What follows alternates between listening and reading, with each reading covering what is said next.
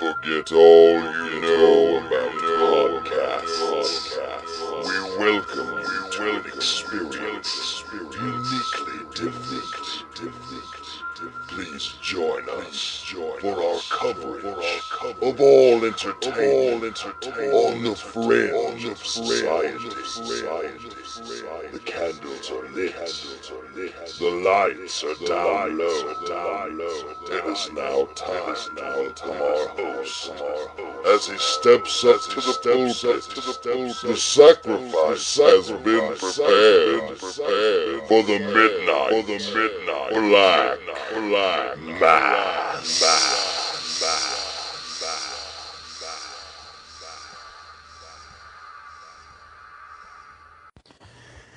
Ghastly greetings to all of my groovy ghoulies and welcome to the Midnight Black Mass. We're back after a little brief break for the holidays. I hope to be joining you with more vim and vigor today, but uh, just got back from Anarchy Wrestling Seasons beatings. It was a hell of a night.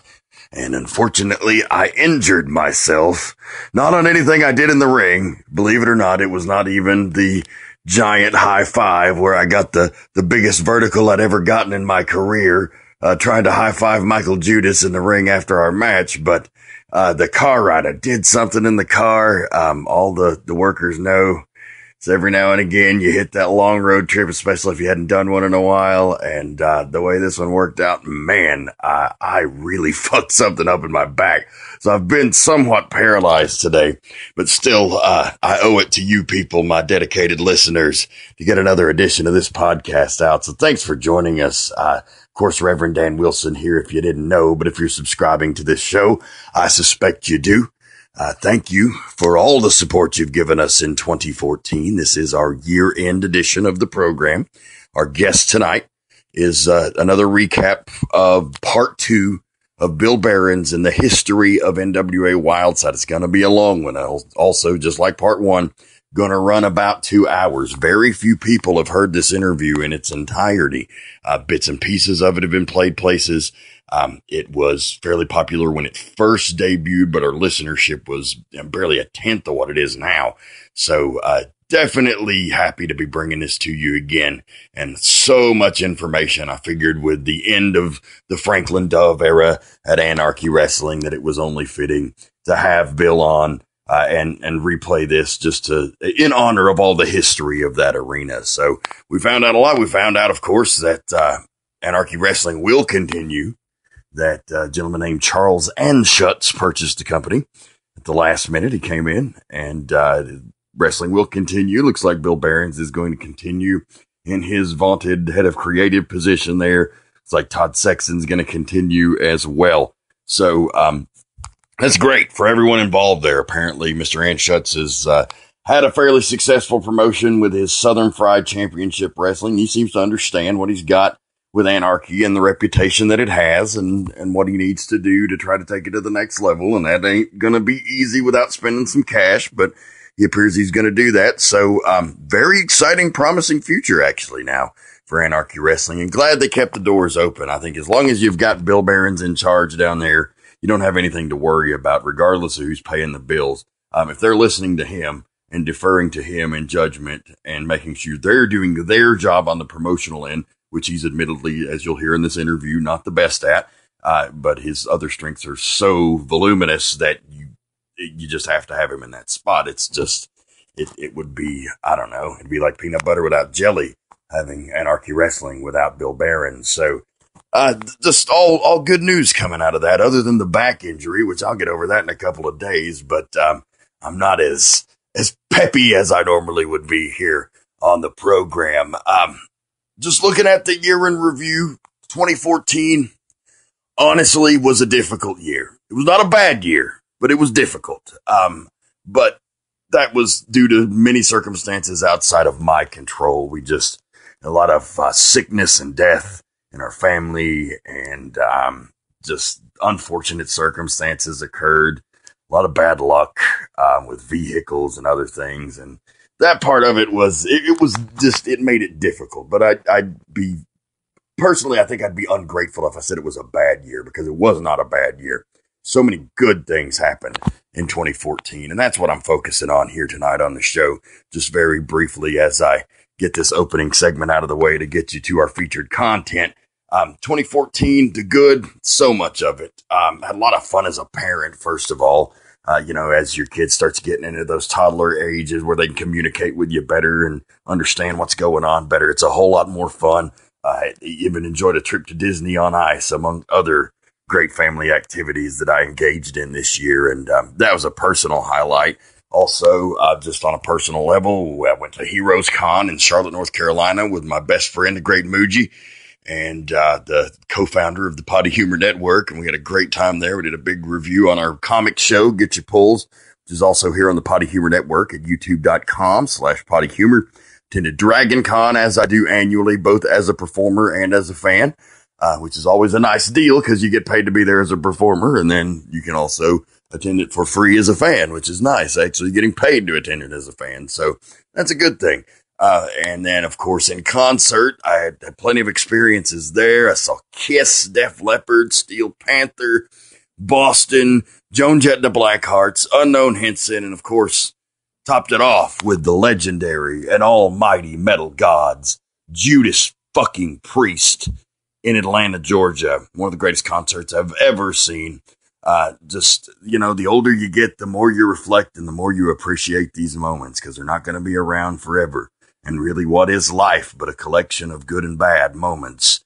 And so uh, you got to keep those good moments with you. And, and all those concert experiences with all of my dear friends certainly were that. Uh, but Judas Priest, of course, uh, hard to top that. So no need for another concert in 2014 because the last one I saw was Judas Priest and nothing's going to beat that.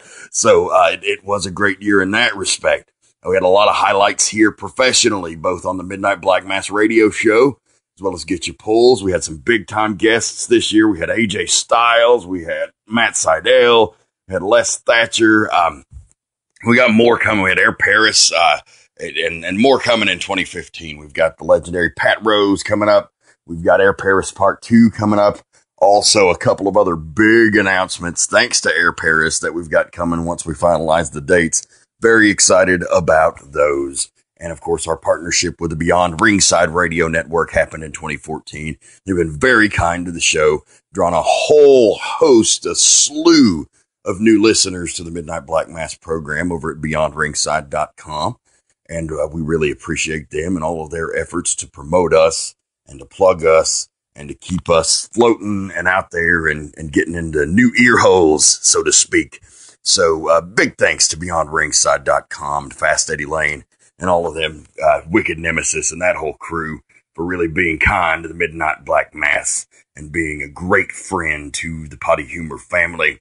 Uh, of course, this volume five will continue into 2015. Um, just because it's so solely based off of wrestling, we're just going to keep volume five rolling until I decide to take it in a different direction. Um, and, you know, at that time you'll know. But right now, volume five continues and it continues unabated. This week, of course, with the Bill Behrens part two the history of NWA Wildside. Of course, as a manager, that's been what I've known for for many years, uh, but also filled back in the old shoes this year and actually got back into the announcing booth, and that was quite enjoyable. And uh, proved that I still had it, I think, without a shadow of a doubt. Maybe you can you can let me know. Go over to EmpireWrestling.net to see some of my most recent play-by-play work with the Empire Wrestling crew. Maybe maybe you can make that decision, but I was happy with the effort that I turned out, especially given the concerns I had for rustiness, and certainly there was a little bit of that there, but uh, far less than I expected, and and very happy to be back in the announce booth for Empire Wrestling. But also did plenty of managerial work, of course, at Dragon Con Championship Wrestling, as I previously mentioned. Uh, also appeared for Platinum Championship Wrestling, Deep Southern Championship Wrestling, the Allied Independent Wrestling Federations, uh, Total Wrestling Entertainment, Superstars Wrestling Fan Fest 2 on iPay per view. And I topped it off with the set appearance at NWA Anarchy, or rather, I'm sorry, I it's second nature, and I'm never going to stop saying NWA before that. So I apologize for having to correct myself on each and every edition of the Midnight Black Mass. But Anarchy Wrestling, final show under the promoter Franklin Dove. Uh, there was a lot of question as to the future of the company. As I'd mentioned earlier, there was uh, a new man purchased it and is actually a fan of the show. So we appreciated that. but uh, seemed like a good guy. And like I said, if uh, if Bill and the management there are happy with the way things are going, I I didn't know enough about the situation to comment. But if he's happy, I'm happy. So I think that's great, and uh, and he's going to be moving forward. But last night, the goodbye to Franklin Dove was a fun one. It's uh, at least made me have one annual appearance there. It's the only time I appeared there in 2014, uh, but at least keeps me going since the year 2000, I've appeared in Cornelia, Georgia for the NWA Wildside, NWA Anarchy, and now Anarchy Wrestling since the year 2000. Uh, many times as a regular every show type of guy, but for the last few years, I've just been coming in as a guest. So you can just call me Rough House Fargo because, you know, if the holidays are around, the Reverend's going to be popping in Cornelia. At least that's the way history would lead you to believe. Uh, but very cool, very cool event, very cool night. Uh, congrats to Strychnine and Azrael on continuing the Devil's Rejects legacy into 2015. My eighth tag team championship that I've managed. Uh, they won the NWA or they won the Anarchy Tag Team Championship in a three way against the Big F and Deal and William Huckabee and Joe Black. And they will continue the Rejects legacy into 2015. 2015 marks the 10th year anniversary of the Devil's Rejects. So Strychnine and Azrael rechristening themselves, uh, bringing back the Rejects name and the Rejects attitude, and they're going to continue that into 2015. And hey, you never know. I, I'm going to be managing them just from afar. So if they ever need dire assistance down there, I'm only a phone call away. You never know when I might show up at Anarchy in 2015. Uh, also, you never know where I might show up else otherwise in 2015. Already got dates for Empire Wrestling on January 23rd, January 24th. I'll be there. Also, uh, got several dates on the books for Deep Southern Championship Wrestling.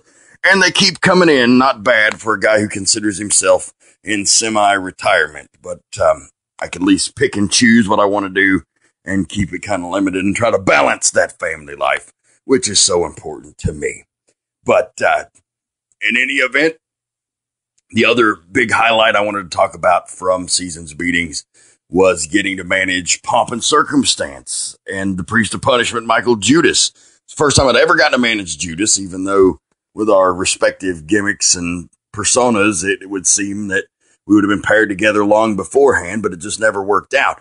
Uh, but it did last night, and it was a whole lot of fun. And then, of course, Pomp and Circumstance are the seven figure deal Ace Rockwell and the Temptation Sean Tempers. Uh, they've been tag team partners and bitter rivals over the years, but here at the holidays, they were able to put their differences aside, reunite the old team. Uh, those are two guys I actually helped break into the business. I've known them for the entirety of my 15 years in the sport of professional wrestling. They are, uh, in many ways, my children, uh, or my little brothers. Um, I live and die through those guys. They've made me very proud over the years. They've disappointed me over the years, but um, that's only humanity. You know, that's going to happen. Last night, they made me as proud as anyone. Uh, the only other time I've ever managed Pomp and Circumstance was in a tag team match, one off show in like Chatsworth, Georgia or Dalton. It was one of those small towns in like the Northwest Georgia area. But we, it was me in the corner of Pomp and Circumstance against the Nightmare Ted Allen, rest his soul, and Kyle Matthews in a hell of a match. It was the only other time I've ever managed pomp and circumstance, beside, despite being heavily involved in their careers both from day one. So that was a very cool moment, very special for me, and uh, wrapped up what was a hell of a season's beatings card. So go check them out at anarchywrestling.net. Glad to see that they're moving forward. We're going to get right back to you after these commercial breaks with the Bill Behrens History of NWA Wildside Part 2 and I'm going to go look for some ice to put on my back and try to pass out. So thank you for joining the show. We'll be right back after the commercial with our featured interview. We'll see you next week on the Midnight Black Mass.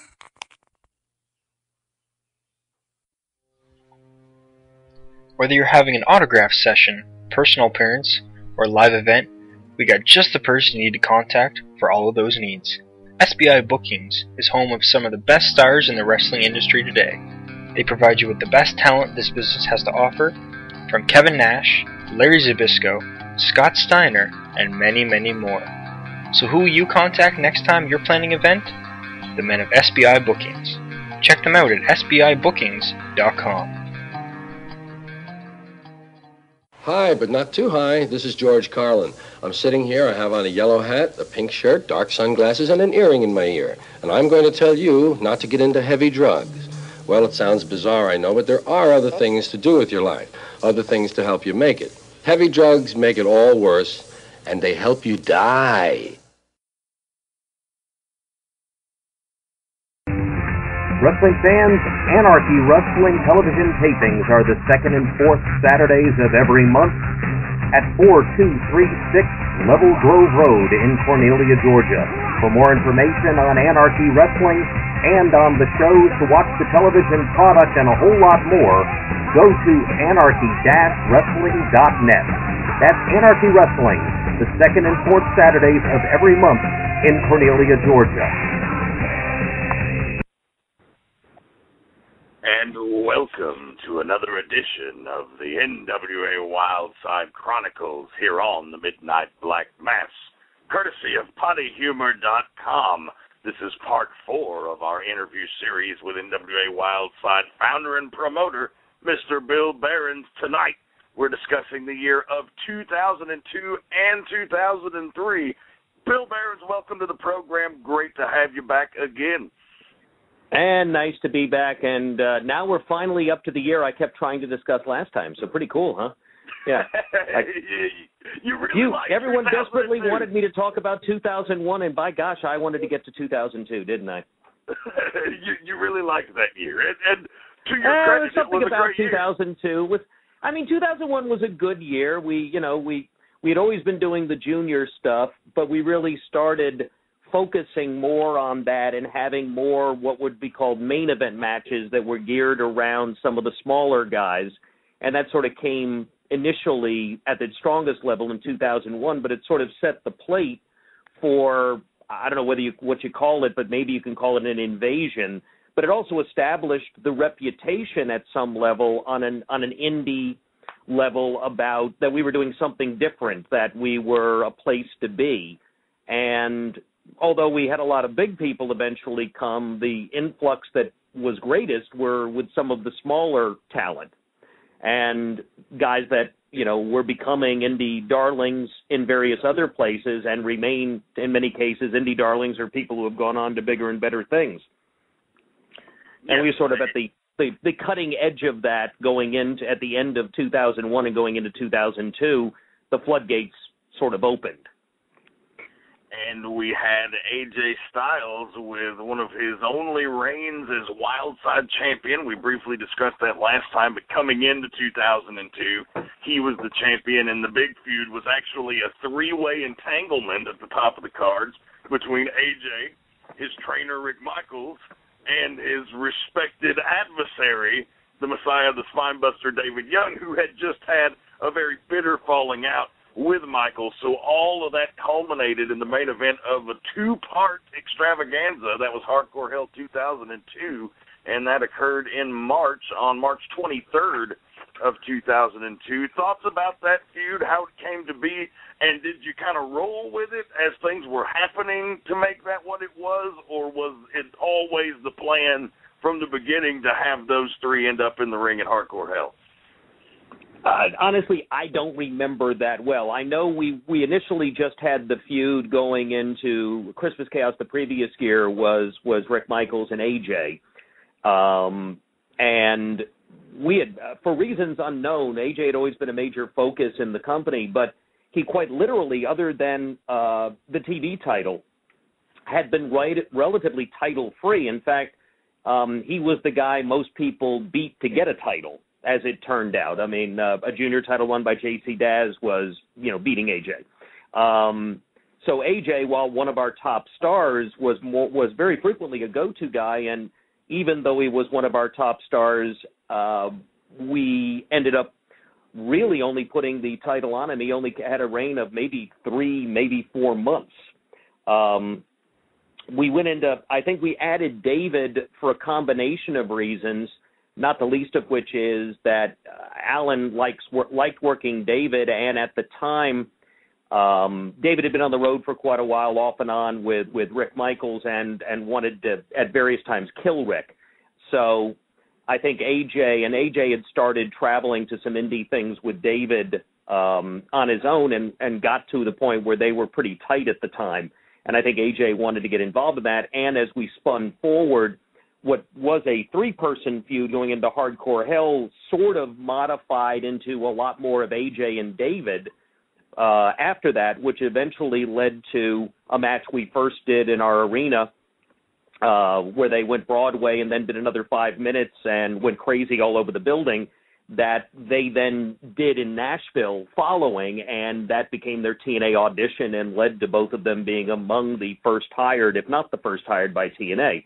Simultaneous with that, AJ had been offered a development deal by WWE uh, to go up to what was then a development area Les Thatcher was running, and um, had a tough decision. That's a, that's probably again one of the other reasons we had to um, make AJ's reign a little shorter than we might have. But I, I think quite, if my memory is correct, we had already really made the decision to get the title off of him well before TNA became a factor.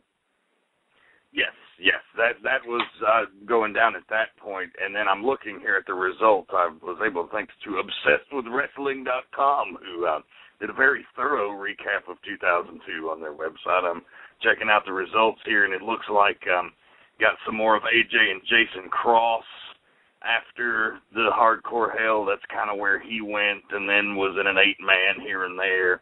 Um, didn't see a lot of AJ after that here in in Wildside. We, always, and then we had a tendency kind of, to always put Jason and AJ together because it was always a good feud, but. um and I don't remember the timing of this, but this could have been right around the time again we were grooming Jason to potentially be a champion, only to have him fall off the radar again.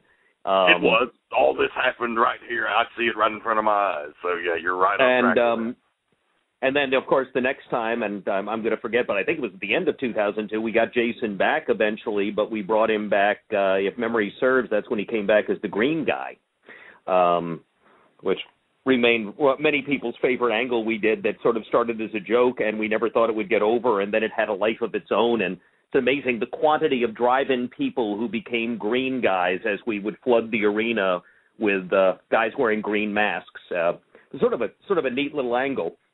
And we actually had people convinced that Jason with a body um, was Air Paris, which which never made any sense at all. Because but but for some reason we were able to get because Jason went out and did a couple of Air Paris things, and the crowd actually thought the green guy was Air Paris for most of the run until we did the the unveil. Yeah, speaking of that, I, I'm just looking at the results. There was Jeremy Vane made an appearance as a green guy at one point. I'm seeing here. Um, there were a lot. Kenny of, uh, Kenny Doane Kenny Doane was a green guy, if memory serves. Um, yes, he was. You know, we we had an awful lot of guys that came in to do green guy spots, and uh, and and again, uh, we also had a lot of transition. We had we had acquired. Um, I guess what we could say the godfather of the junior division, uh, either at the end of 2001, early part of 2002, uh, Tony Mamaluke came to us, and at the same time, that brought Jerlo in, uh, Jeremy Lopez, and Mamaluke became sort of the trainer for all of our juniors, and Lopez became the long-running go-to champion as a heel, and uh, and really provided us, I thought, with a lot of good stability particularly as we brought in and uh, so many people from the outside and began doing because so many people would come in, we began doing these cluster matches all the time. Everything seemed to be a four-person, five-person elimination match every time people came in. Um, but that that was that's my re- my memory of how things uh, went. We the Briscoe brothers came in, the Backseat Boys came in. This is all through, or at the end of the year, we started getting a just a horde of people. And I, I you know, you get all the way to Fright Night, uh, in November, uh, where where we did uh, a, a fairly spec. Uh, we did a, tag team gimmick on that one. We had we had people from all over the frickin' place on that. We had Adam Windsor and Dory Funk Jr. as a team. The Briscoes were in. We had uh, TNT, the Backseat Boys, Scotty Rand and, and Tank were in that, uh, and then you know some just throwaway teams, although not bad ones. Uh, Sex, Love, and Money, uh, Dagon Briggs and J.C. North. You know, uh, Lost Boys were together in that thing. We still had the Dobbins brothers, which was entertaining. Total Destruction was in; those were our big boys. Um, but we just we had all these Mind and Matter, Dr. Heresy and Brian Black from New England. It was just you know it was just a tremendous group. Blackout had been put together, which originally started as the Usual Suspects, but uh, and Caprice Coleman was originally part of it how things came full circle there. Speaking of blackout, yeah, we tried uh, Caprice Coleman out. If I remember, we tried Caprice Coleman out with Laz, and we ended up taking Laz before we took Caprice, which is you know not that Laz wasn't an exceptional character for us, and we did some awesome things with Laz, uh, and eventually. Um, Laz sort of began morphing himself through through some chemistry, I think, and and began looking just weird um, and that's when he became Dustin Timberlake for a brief period of time. Yeah, um, that was in and that was sort of the phase out point. But Caprice came in originally, and we didn't see as much in him as we did in Laz, which was sort of odd. And then, of course, Caprice became one of the the foundations um, for our company, and and only now, you know, uh, as we we record this, is only now starting to get uh, the kind of credibility he deserves uh, at Ring of Honor, which one would have thought would have happened ages ago, given his talent. Yeah, it's been a long haul for him, and he's worked really hard. So I am glad to see that he's finally getting some recognition. Um, and speaking of a blackout, 2002, you really saw the early part of 02 was them dominating as a tag team, but as the year progressed, especially getting later on into the year and into 2003, you started to see them go into their separate ways. And uh, both of them had great singles runs, but in particular, Rain Man, Corey Chavis, um, had an amazing run, a great feud with Rick Michaels that really put him over the top. Um, and, and it was just great to see those guys blossom off and carry the company from there as well. Yeah, murder murder sort of vanished for a little bit. He uh, was booking another promotion, if memory serves. Um, uh, somebody had come up with some, uh, I think, Grandma's money, and he ended up booking that and leaving us for a period of time around that time, and it gave Rain Man really an opportunity to step up. Uh, and and by golly, he did. And you know, of course, that continues now with him being one half of the world tag team champions, where which multiple time world tag team champions. Yeah, absolutely. So but we we also were periodically, and and you know, again, I go back in 2002 and at the end of 2001, the focus again became a little bit on the younger ones, and part of that also had to do with the fact that Jimmy Rave became a World Junior champion, and we would then bring in the various World Junior champions and position a lot of our drive-in people around that, whether it was Jerrelle Clark down the line or you know even in 2002 at Freedom Fight, we had Rocky Reynolds in, who at that point was was a viable contender for that title. Uh, TNT had emerged as a viable tag team. Todd Sexton and Tony Stradlin, uh, skinnier versions uh, of at least one half of that group for sure. And we did the uh, either the first or the second, depending on point of view, Briscoe versus Briscoe match that year. Yes, and like it's so coincidental that you mentioned all of those things because they all occurred on June 29th, 2002, between between 225 and 250 fans, according to this report. Um, at Freedom Fight 2002, which is one of my absolute most favorite events in the whole Wildside catalog. There's a lot of emotion in that main event. That was where it was where Murder Wanted left and Jason Cross had also left. So our War Games match got flushed down the shitter and you came up with this eight man Holy Wars elimination match and it ended up being one of the greatest fucking things we'd ever done. And and we put over the littlest guy. Um and the guy that did it again, uh the go to guy, bless his heart, AJ. Um we got all the way down to Adam Jacobs and AJ. And uh but the whole storytelling of that really, really flowed well, I thought. Um there was blood because it was a cage, but by the end of it the wrestling was dominating, not the gore. Uh, it was one of those uh, well laid out things, I think, where we got the storyline feud stuff out early. And then we got it down to pure wrestling at the end for the heavyweight title rather than team versus team, which had been before that and thereafter, always what we did with the War Games gimmick, which uh, we we adopted and embraced. Uh, Dusty Rhodes obviously created and, and actually participated in with us at least one time, but we always found a, a real love for that particular event. And there was a disappointment in this one when we lost both Jason and Murder because it it really screwed up our ability to create teams at that point based on everything else we had planned because everybody else was married to somebody. You know, we had all this other stuff going on. Um, you know, and and we really didn't have anybody else to pull in that made any sense. So the only thing that made sense was to do the eight man single elimination deal and do it and do it progressive and tell a good story with it.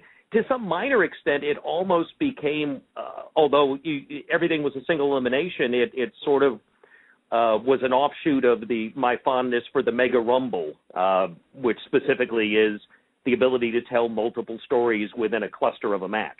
And and we did that really well, I thought, in that particular match. And the guys all stepped up and did really well in their spots. Everybody worked really hard in that match.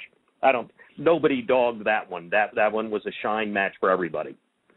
Yeah, and it was also the first time Iceberg had been taken off of his feet as part of that storytelling. Iceberg had just dominated 2002. He came aboard in late 2001, slaughtered, just built up perfectly, slaughtering underneath talent, and then eventually. Didn't he do, it, didn't he do something off the second rope or the top rope? Was it was it David that that, that spinebustered him? Yes, David Young gave him a spine buster off the second turnbuckle to the uh, to the ring inside the cage, and that was the first time he'd been pinned, and I believe the first time he'd been taken off of his feet during that run. Uh, and that was well, such that's a huge one of the moment. things to, to pat us on the back a little bit in terms of again, you know, when I when I worked for WWE, John Laurinaitis growled to me, "You're known for developing small people," and I said, "Yeah, well, yeah, except for all the big ones." Um, one of the things we taught everybody that came in that was big was you don't go off your feet easily. And almost all of our big guys were so generous, uh, even if they had enjoyed a beverage, all of them were very willing to bump for a flea. Um, Berg, you know, Berg was that guy. Um, uh, Abyss, bless his heart, was that guy. Hernandez you know, was a little a little easier, but Hernandez wanted to fly like a cruiserweight. I mean, he he thought he was a cruiserweight in terms of the spot. And then we were able to ground everybody and made the big guys big, and so they stood out. And so when we took somebody off their feet, it was a big deal, um, and it usually led to a big reaction. And that because we had, I've always believed that in the presence of smaller people big guys are bigger and more relevant, and you can do more.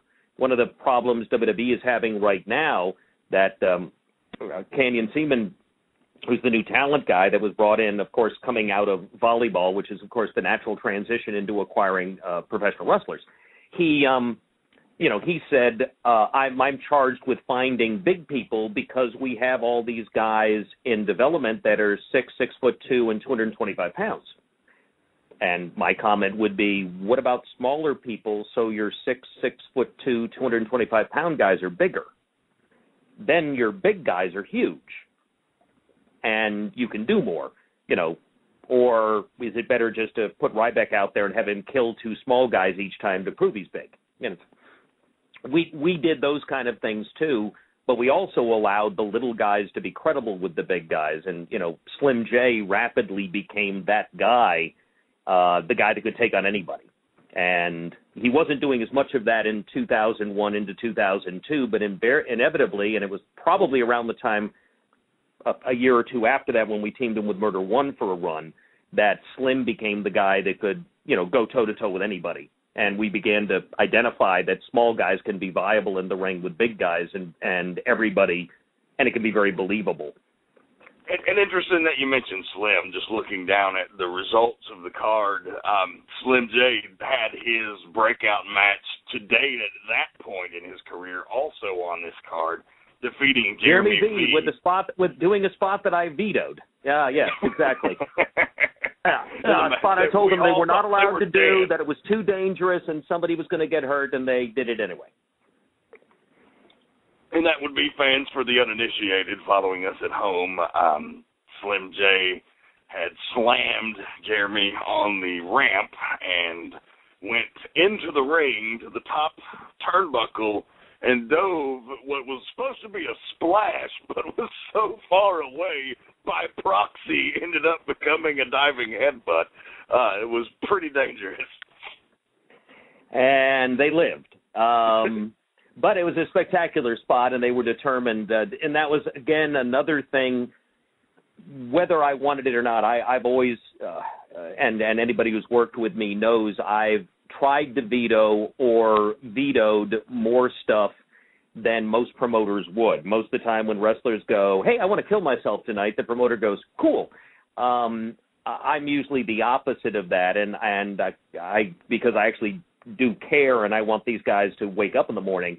Um, I try to veto things all the time or try to rethink a way to do other things. But as our reputation began growing, um, more and more the kids wanted to do more. And reining everybody in became a little bit more difficult over time um, because so everybody wanted to have that memorable moment on the card. And you look at that that Freedom Fight card, and there are a ton of memorable moments on that card. Um, you know, I go back to the Briscoe match. The Briscoes did a tremendous series of near falls near the end of their match that were totally believable. Um, and uh, the call on the match that you did was was tremendous. I mean, it was just was one of those great matches, and it'll hold up against any match they've done to date. And it was one of their earliest ones. But there was psychology, it wasn't kicking out of everything under the sun. It all made sense, and it was just a beautifully executed match. And and that was the kind of show that thing was. There was a, an awful lot of really good storytelling all the way through it, and very little that that sucked.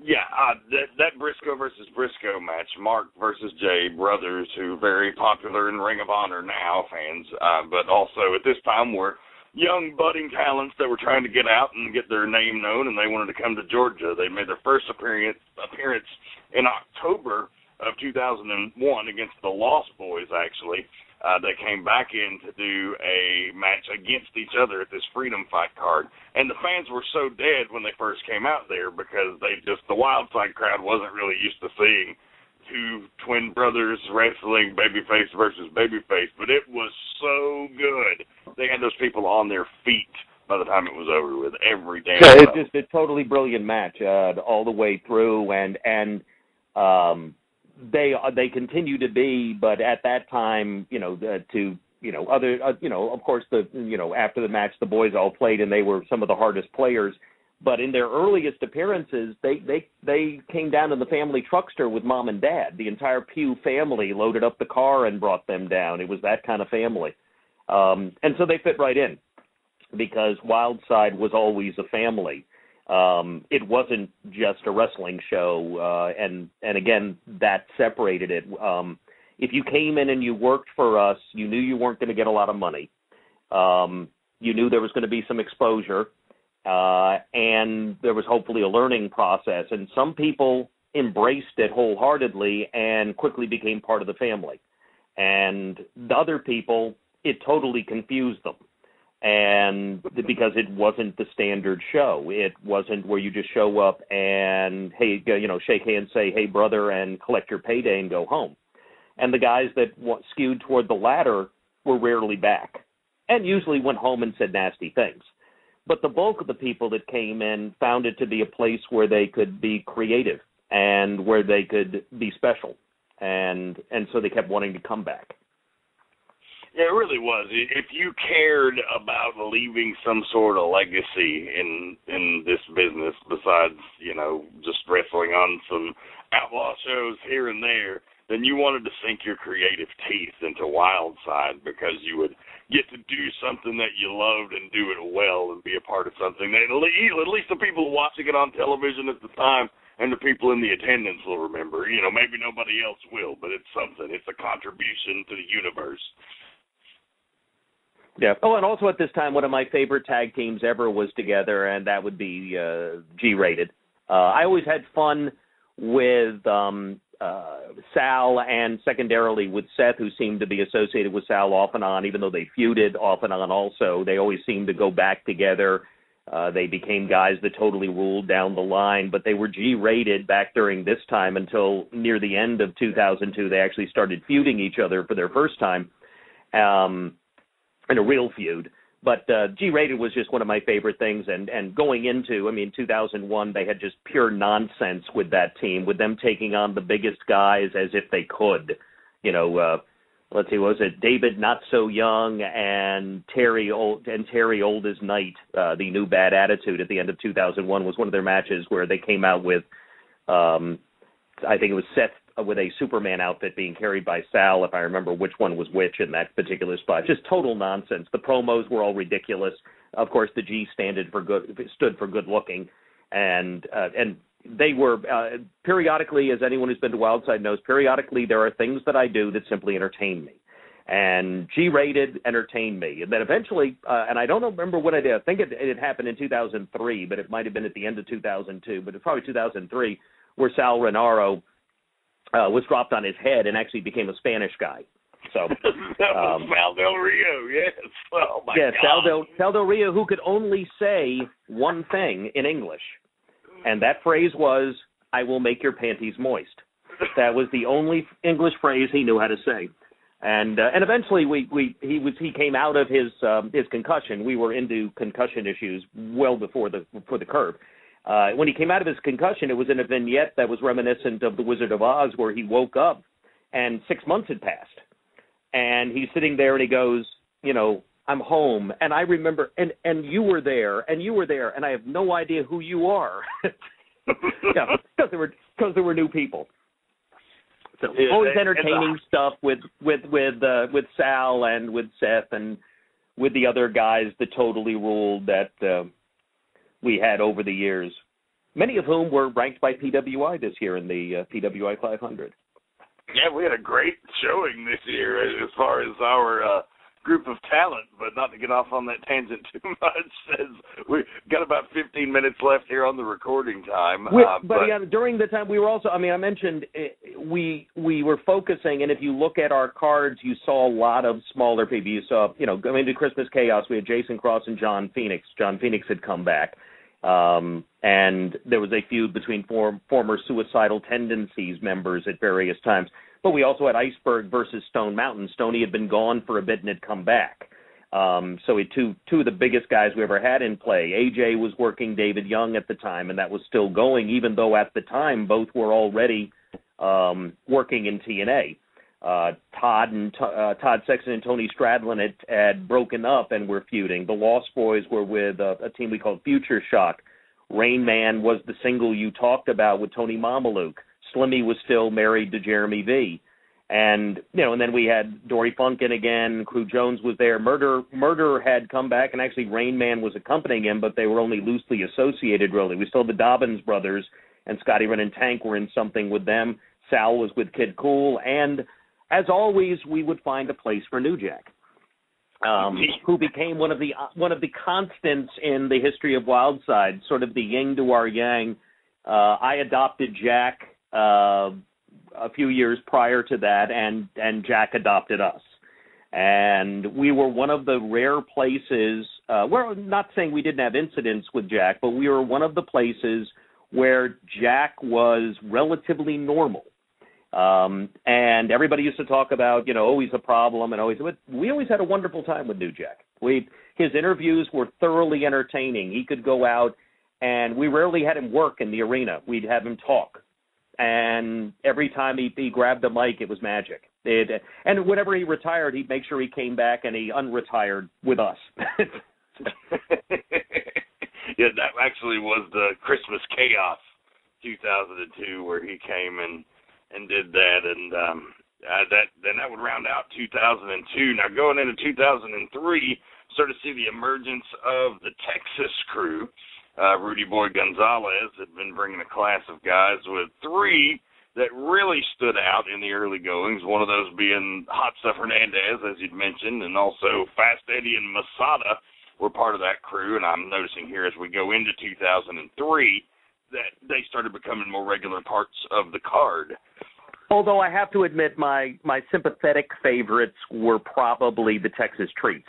Um, Don Juan and Chris Marvel. Uh, Don Juan uh, always enter again. Sometimes some things just entertain me, and there's no explanation for it. I was the guy that enjoyed Manchild, so there's you know there's always something that entertains me, and and therefore everybody else has to endure it. But but this was one of those where I think everybody got entertained. Um, and the Texas treats were the were very stable with us once they came in, but we had a good group. I mean, uh, Lance Hoyt came in and did some of his early stuff during that same period with us, and um, and was just this big, gigantic green guy that uh, came on a couple of shows. But Rudy would load up the family truckster, charge the guys to drive them up here, and usually about three shows in, they would I'd get pulled aside by a Texas guy going, so and so, a previous Texas guy, says that we can just come here and I go, yeah. You mean we don't have to pay Rudy? No. so I didn't mean to screw Rudy's gimmick, but uh, periodically uh, Rudy Rudy kept coming, but he had to keep finding new people to uh, to you know to hop in the family truckster because everybody else started coming on their own after a while. and Rapid Edward broke out as one of our top juniors. Uh, nothing with you know which which certainly we saw coming, but probably he didn't. By yes, that is a vision joke. Sorry. yes, Fast Eddie, for those of those who don't know, uh, is is actually blind legally. So all the more impressive that he was a fucking fantastic wrestler uh, because he literally couldn't see in front of his face. But you know who else had come in and and really didn't break out at Wildside, but has turned out to be a considerable talent is we had in essence, a comedy heel team that had debuted called the Elite Swingers. That that sort of struggled in. Um, a one guy jumped out immediately, and that was he was calling himself Michael Adrian. But their whole gimmick was fueled by a little skinny guy named Scotty Smooth, who did most of the talking. Michael Adrian just stood there. There was a Vincent I. Payne guy who was with them for a while until he tried a spot on the short side of the ring and broke his leg, and he left. And for whatever reason, we had a terrible time getting Michael Adrian out of being an elite swinger and disassociating himself with those guys. Um, and, and, and quite honestly, we really didn't accomplish that until like 2004, where we finally got him associated loosely with the NWA Elite. But it was obvious to all of us looking at him that, you know, Michael Adrian, now Michael Judas, was going to be one of those guys. But unlike Iceberg, unlike Stone Mountain, unlike Hernandez, unlike uh, Abyss as Justice, took him a whole lot longer to convince him to be a big guy. We had to work much harder with him, but by golly, once he crossed that and going to Puerto Rico sort of sealed the deal, uh, which didn't happen until he was uh, all the way after Wildside once Anarchy got started, or actually several years into Anarchy. But uh, he's now he's now become one of the best working big men in the business, uh, no matter what TNA thinks. Yeah, absolutely. I I, I would agree with that wholeheartedly. Um, you know what else we had happen in two, in 2003? We actually had in the early show we had a couple of the oldsters come back. We had Jesse Taylor come back and work Eddie Golden, and I remember it being a good match. But I also remember that it sort of stood out as not what the crowd was looking to see at that point that they sort of were there and it was okay, but it wasn't it wasn't like it had been when they were on top back in 1999 or early 2000. It the, the everything had changed, and I I think they were surprised that it wasn't as easy as it was used to be um, for them to get over the way they had before. It was a it was more of a challenge, and not that they didn't work a good match, also had a, a disappointing match, and it's amazing given the people involved on on Hardcore Hell with David Young taking on Bull Buchanan, uh, which which should have been a whole lot better, and for some reason the crowd didn't enjoy as much as I would have liked them to. No, I remember that, and I I don't understand what happened there. They just maybe they weren't buying what they I were booked selling. that as I looked- booked that as as sort of like the the you know one of the highlight matches of the whole thing going into because we had had a really strong, a unusually strong first night because and over the objections of many, I booked AJ to work um, uh, Ron the Truth Killings in a TNA match with and brought in the living legend Larry Zbyszko. Um, who uh, went on commentary and did a brilliant job with you during that. And almost everybody was going, "Why is that our, not our main event on Saturday?" And my answer was because it's a standalone match and it has nothing to do with storyline, and so it's going to be where it is. And um, it was a good place, I thought, for that but it ended up it ended up being it was a really good match but uh you know we had a really strong we had a strong thing. And we had one of our double elimination for the junior title things. We had sal against kid cool against jeremy v against uh, slim j on that in that first day. We had a ladder match for the tag team titles with scotty wren and tank and the lost boys and future shock um that i don't remember sucking. And um Bulldog Reigns had been picked up by Al Getz as part of Al Getz Enterprises with the Dobbins brothers, and he worked hot stuff. I don't remember that being great, but I don't, you know, I I was certainly big guys. Yeah, it was an so impressive we had, we had, showing for Hot Stuff being able to toss Bulldog around there.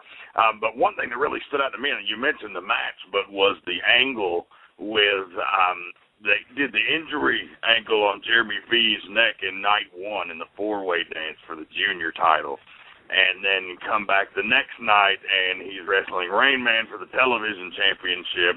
Uh, and he's got the neck injury, and there that was just such a great emotional roller coaster of a match. The second night was that was that was that the was that the night that the suspension of disbelief was so profound that Nurse Kathy was about to jump the railing to take care of him on the outside? Yeah. That's what we had fans crying in the front row. Several fans were just bawling their eyes out. Well, Jeremy Jeremy V was the second. Uh, Slimmy will always be uh, just because he, it's impossible for him not to be. Even now, little buff Slimmy, who's you know now built and it was skinnier back then. But I always had what was referred either either they were referred to as my favorite, um, which which was an ongoing in quotations joke in the locker room. But but I always had one skinny, long-haired guy that was my go-to cell monkey, uh, as I referred to it. And the cell monkey is, of course, uh, because you know baby faces sit down there and they're getting their asses kicked, and the long-haired guys will flip their hair back and sit there, go, ooh, ooh, ee, ee, I'm hurt, ah, ah, ah, you know, just like a little monkey. And so they became my cell monkeys. And Jimmy Rave had been the first of the cell monkeys and he was beginning to graduate out of that. The crowd slowly but surely over time was was turning him heel, and eventually I turned him heel in a um, in an I Quit match with Tony Mamaluke by throwing the towel in, which was just a terrible finish, and uh, turned him heel. Um, but Jeremy V was the second uh, and a brilliant cell monkey, and of course when he came in, he was immediately you looked at him and you went babyface, and I said, "What's your wrestling name?" And he said, uh, "Jeremy Vane." And I said, You're a baby face. He said, Yes. And I went, Well, then you're not going to be Jeremy Vane because baby faces aren't vain. So he became one of our many initialed people. We had a lot of initialed people. We had Brandon Phoenix became Brandon P because we already had a John Phoenix, and we had to have Jeremy V because I wouldn't accept Vane. Of course, now he is Vane, but it fits better. Yeah, it all came full circle at that point. It actually made sense when he did it. But uh, moving on into 2003, saw the debut of Altar Boy Luke, who was involved in a major storyline there and made a big splash. Uh, fans had seen him a little bit on XPW at that point, uh, but then he later, as we moved past Hardcore Hell and Beyond, became aligned with Lost Boy Gabriel as the quote unquote God Squad, and one of our greatest feuds of all time started kindling there. Yeah, and went on for quite a while, except for off, uh, Orin had a minor legal issue that had him lose a loser leave town at one point because uh, uh, he was out of pocket for a bit. But otherwise, yeah, we had set up it and then we brought it back together, and eventually we paid it off in a major angle that was remains, and this obviously goes all the way to 2004 now. Very little we did went quickly if it was working. We we took our time. Uh, we we sort of crucified Altar Boy at one point, not not as dramatically as ECW had tried to do, uh, but we tied him up in the ropes with his arms spread and sort of a, a mock thing. And Jeff G Bailey was the devil, and we did an awful lot with Altar Boy. He um, we brought in Wolfie D at one point with Azrael to work against the God Squad um, when he when Wolfie was doing his Slash character and um, you know, so we we really sort of pushed it, and we had Sinister Minister there with them, and you know, so we we were having a lot of fun with God versus the Devil uh, with an eventual payoff down the line that involved Dusty Rhodes, AJ Styles, and Christopher Daniels. Yes, so we'll a lot of mileage out of that, and it's amazing now. Um, Altar Boy was one of those guys. I I've talked about it. There's certain guys that come out, uh, and and he and he had a tremendous love hate, hate hate relationship with the locker room. You either loved him or hated him because Altar Boy goes in and you know has to have the biggest one in the locker room sometimes, and he's you know been one of my kids for a long time, and I'm the first to tell him that. He's also extremely stubborn.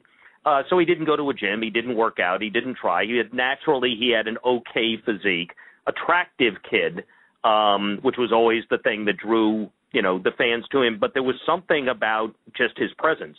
And there's a number of people that have gone through our curtain. AJ is of course one of the most profound, but Altar Boy was was in that class that when he came out, the crowd wanted to chant Luke, Luke, Luke, and didn't stop he never lost the support of that that crowd.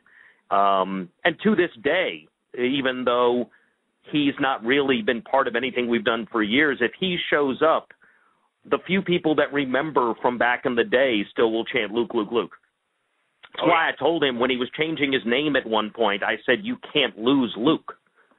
You know, you unfortunately you're that guy. You can maybe you're no longer an altar boy, God knows, but that's where he came up with Luke Hawx years later, which is a combination of Luke that brought him to the party and his real last name Hawkshurst. So it, you know, but but he was one of our standout guys, and another one that that sacrificed and drove long distances to see what he could accomplish, and uh, was a standout. But it was also at that time, as we went into the middle to the latter part of the year, that we started to see the Midwest guys make their appearances and we also saw the first appearance of um, one of your friends from the from Tennessee, the second generation star Ray Gordy. But we saw Delirious, and we started seeing Matt Sydal and Daizee Haze and Ray Gordy, and all of a sudden, business started really picking up in our our junior division. Um, and almost every match seemed to have you know nine people in it. It you know we we we had too many freaking people, so we had all of these junior sudden death matches, but they were brilliant. The guys did a wonderful job, and somehow we avoided them being total clusters where they had every potential to be. In fact, I look back on some of the multi-person ladder matches that preceded the the cluster matches we had with our juniors later, and I find the older ladder matches to be more clustery than I did the junior matches we did. The the kids really tried hard to make them make sense. I always thought. Yeah, and the guys that had been there for a couple of years were starting to get grounded and get better, and then you had a new generation of guys coming into mix. So it really uh, started. We had a great year in 2002, but as nature of what we do, guys were going off to better opportunities. New guys were coming right in to fill their place, and that was great. And I think that's a perfect way to end this discussion here on the 2002-2003 time. Uh, and then next week we're going to look at 04 and 05 and the end of Wildside. But Bill, this has been a great look into the history of the promotion, and I dare say we're probably not done. As once I get through a bunch of the talent, um, there's probably going to be questions about stories and accountings that I'll probably have you back to verify. So, but for now, next week will be the final interview in this series. Oh, by the way, I'll leave. I'll leave. It's one of the things that also opened up is, um, uh, and and it, it's it's important only because of where it ended up at the end of Wildside. But in 2003, we saw the influx also of the Alabamians, um, yeah. which was TC Carnage and Adam Roberts, Alabama Attitude, with uh, a young man who had then was called Zero X. Um, who I believe did the very entertaining uh, "Why Are the Alabamians Not on Frat Mat?" and um, and of course he then eventually became the human action figure moved off on his own and patrick bentley uh, ended up doing very very well for himself and another one of my my favorite kids but we had those guys coming in and at the same time we also had uh, one of my other kids mike posey coming in as a referee um, and that's another area where we haven't even talked about that and we probably should at some point. one of the areas that was extremely important we we had okay refs back when we first started, and I'll let this be the last thing we talk about. But we really upped the ante on quality refing when we started having these talented people come in from all over. Our refs needed to be able to keep up. We, we you couldn't just be a fat guy and go out there and do the job. Uh, much like when you showed up and were, you know, and and uh, I remember was was it you or young Andrew that was nearly run over by somebody pissed off he was losing his job? That was me. Okay, yeah, but and you know, regardless, we ended up Andrew Thomas had been put in as the senior referee, an exceptional referee. Championship Wrestling.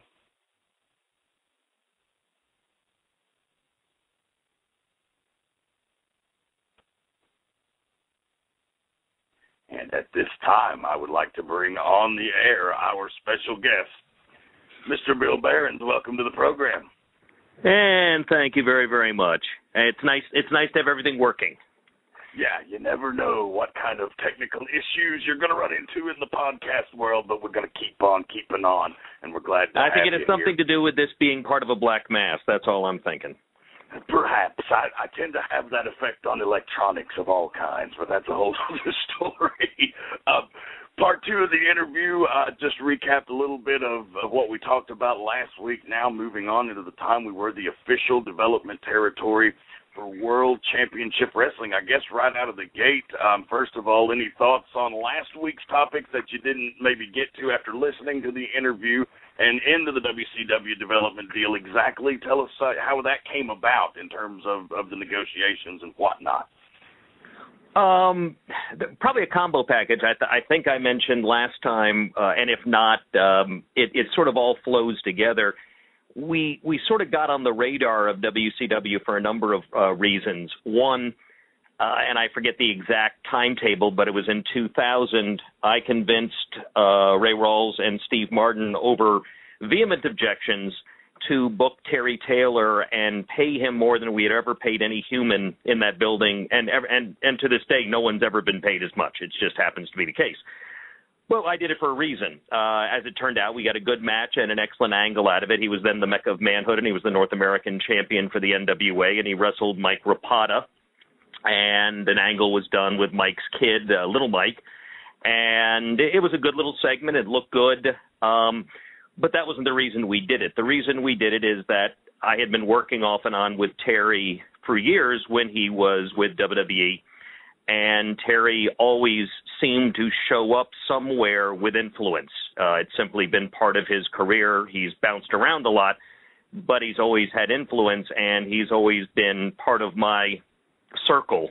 Um, but this really sort of established that, and I knew that if I got him into the building – he would see what I was aware, and that was that we were doing something special. At the same time, Air Paris and uh, AJ Styles were involved in a feud that was gaining quite a bit of notoriety, particularly among WCW's lower tier, which were still guys making a lot of money, particularly Bob Ryder and Jeremy Borash, who had a uh, early version of a podcast uh, on the internet. They had WCW Live, I think it was called, and um, which Jeremy uh, got paid a six figure salary to sit in a hot tub and do. It was one of the great jobs ever in the history of wrestling.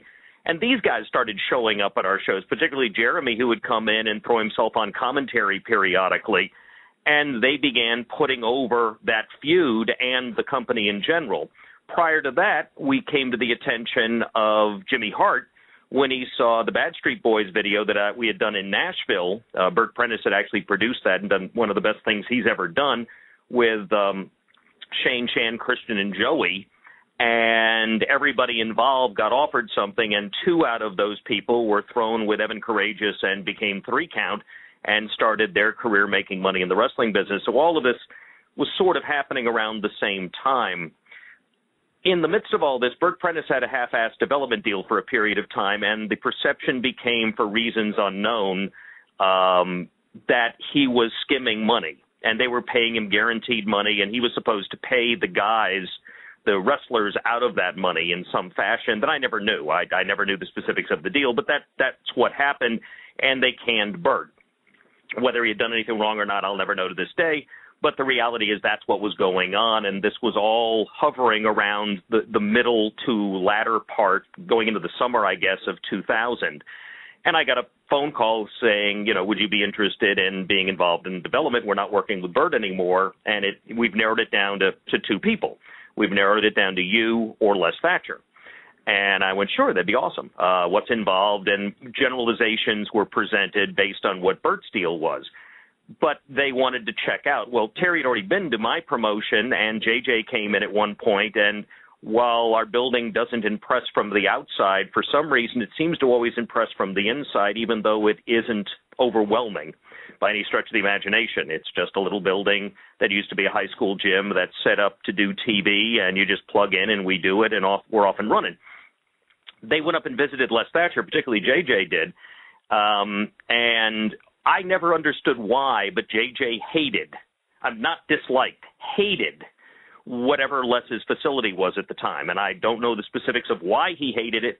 I just know that Terry called and said, well, uh, there is no competition anymore. JJ hated Les Thatcher's thing. So it's now you. And I went, oh, cool. Okay. So I went into a meeting and they started talking to me about how they felt burnt by the Bert experience and blah, blah. And I said, well, I'm not really good at just taking money uh, anyway. I like to be incentivized and I like to earn money. I've done that in my TV career, and I've and it's sort of the way I I work. So why don't we? What are your goals here? And they said, well, we get a lot of green guys here, a lot of young guys we're putting on TV, Jindrak and O'Haire, and it goes on and on. And and they're just not ready, but but we're sort of being forced into it because again, this is at the tail end, and things were starting to sort of unravel at WCW at some level. In fact, at this point, we're probably six months away from the end, but we didn't know that. Uh, but they were losing talent. They were throwing young guys out there trying to fill the gaps, and they'd you know they were ready to sign more people and trying to repair for the damage that had been done when a bunch of people decided to leave the Guerreros and and so on had taken off. So I said, um, well, if you want to get a bunch of guys booked, why don't you pay me per person? And then secondarily, uh, that'll incent, you know, that'll that'll a that'll incentivize, you know, me, you guys. I hope to book a lot of guys, and I'll I'll like that. And at one time or another, we had as many as ten guys on a show once this started. And then um, the other one was it would incentivize us to open other towns and promote more regularly. And there were weeks as we got going where we promoted as many as five times and almost always three times. So we really got up and running, and we're doing 150 to 200 shows a year, or would have if this thing had lasted. Um, I was told I had to get a, a specific insurance policy. I had before that been sharing an insurance policy with Bert, as it turned out, uh, which I had bought, and then it got canceled. And the new insurance policy that I was using was in Mike Porter's name, and I couldn't use that, so I had to go get my own insurance. They said the deal is done. Let's get going. Paperwork was sent. I sent it in and I got the insurance, paid the bill, and I received notification that they didn't want to go forward. Um, and I went, well, crap. So I started writing emails going, okay, hey guys, I've just gone out of pocket $1,500 and some other expenses to get ready based on a contract that's signed, and now I just get a notice from your legal department you want to cancel. What the crap's going on? And they went, oh, I don't know, but I think it's going to get straightened out. Just be patient, and if it doesn't, we'll we'll pay you back all of your out of pocket, and we're sorry. And so we were in limbo, and this is, oh, golly, I want to say it's it's October of 2000, um, and we were supposed to have guys delivered by I think October 23rd was supposed to be the first date, and as of now we don't have a deal. Uh, and no money, and but well, the fortunately things got corrected, everything was fine, and all of a sudden we got up and running in uh, early November, literally the, the very beginning of November is my memory, uh, and started getting a lot of guys in. We had a, a core group that we were sort of a, a very quickly assigned um, that consisted of Sam Greco, Troy Endress, um, Bob Sapp, who who materialized into becoming the most famous of them, with or and or David Flair, who was already on television but couldn't do anything basically. Um, then we had what is who do we have? Danny Faquir, whose name was interesting to pronounce if you weren't careful. Um, and then we had other people like Kevin Northcutt in for a period of time. Chris Harris was assigned to us. Uh, so the, we had a, a, fairly large list of folk. Um, in fact, when I wrote a uh, a breakdown, uh, we uh, and I forget when this was. Let's see, in February it was Sam Greco, Danny Faquir, the Beast, uh, Omen, which was Troy, Scotty Patrick, who we changed to Sexy Scotty Saber, which I guess was his original name, uh, David Flair, Kevin Northcutt, Steve Sharp, who had been Da Flava, uh, God only knows why, uh, Chris Harris, and Robbie Rage ended up uh, being added, uh, leading to an incredibly uh, entertaining uh, Robbie Rage versus AJ match at Bumpers one time that we'll, we'll go into. But we were signed all these guys, and then in addition, we were given the TV stars, and, and a lot of these guys were were young and as green as the guys that we were assigned that hadn't yet made TV or were just doing occasional superstars things. Uh, we ended up being assigned Johnny the Bull periodically. We had him on a lot of shows. We had um, Jindrak and O'Haire. We had Kaz. We had Jimmy Yang. Mike Sanders came in and worked for us quite a bit. Um, Jamie Noble we, was part of that. Yeah, we had Jamie Noble, Evan Karagias, Shannon, and Shane came in and actually won our tag titles uh, on a Friday and lost them on a Saturday. So they can, they were able to. Three Count was able to claim to have been a Wildside Tag Team Champion. Uh, the one we did the most with, uh, really in terms of storyline and really integrating within our little happy family, was David Flair. Uh, the other guys were were real easy to work with, although uh, a couple were harder than others, and and Robbie Rage was periodically just scary. But um, and the Beast was just entertaining. But uh, David was the one that really meshed in the most, and the one that we had from the very beginning to the to the bitter end. And um, first time he came there, he went out, did a match, came to the back, and started crying, uh, which I remember vividly. And I, I went up and said, "What's wrong?" And he said, "I, I can't do this. I'm never going to be as good as my dad." Um, and I went, "Well, why is that an issue? You know, why why do you have to be as good as your dad? You just need to be the best you you are. And the key to doing that is to f- have a good time, to calm down, to not put so much pressure on yourself. And that was the beginning of a, what was a good relationship with him and a real growth for him and and it caused him to improve and that improvement was then seen later in TNA when he had a brief run there. He he never got to be great, but he got to be good with us uh, I remember when he came in one day, and I forget this, the reason, but I had decided he was going to take a superplex off the top, and he said he wouldn't do it. He was scared of it, and I periodically I've I've learned that uh, you plant the seed and you don't argue a lot. You walk away and see what happens. And I you know, and I told him 100%. I totally understood. And if he was scared to do something, then you definitely shouldn't do it. I mean, obviously, a lot of other people do it and are fine, and he can talk to the wrestlers, and they'll tell him that he'll be protected and he'll be fine. But if he's scared and doesn't want to do anything, I, I would never force him to do it, and you know, no problem at all. And then uh, I don't know, about a half hour later, he came up with a beaming smile and said, "Guess what?" And I went, "What, David?" He says, "I'm taking a superplex." And I think that it sort of underscores the environment we were in. He did talk to the other guys. And they did make him comfortable, and he was on cloud nine when he came to the back and he had executed it. And then we put him with Romeo Bliss and made them tag champions. Romeo cut promos a little like his dad, um, although a somewhat different character, but with some of the same swagger.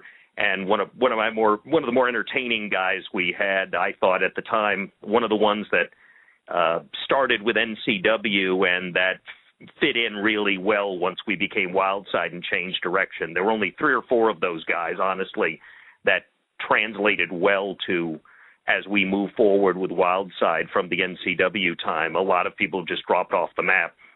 But Romeo, uh, who later went on to to become, I guess, Bubba on Survivor, um, Romeo was one of those guys that really uh, really was part of the family all the way through, and until he ended up sort of backing out of wrestling entirely, even though he did come back and, and did an appearance near the end of Wildside.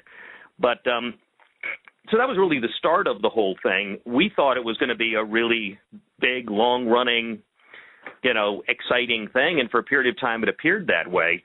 Um, and we were running shows. Ray Rawls started running in Toccoa, so we had a regular Sunday show. We started up running on the Fridays, which is really how we got Fridays going. We had before just done first and third Saturdays, and we had not really ever run on Fridays except that I had made Hardcore Hell a, a two night thing.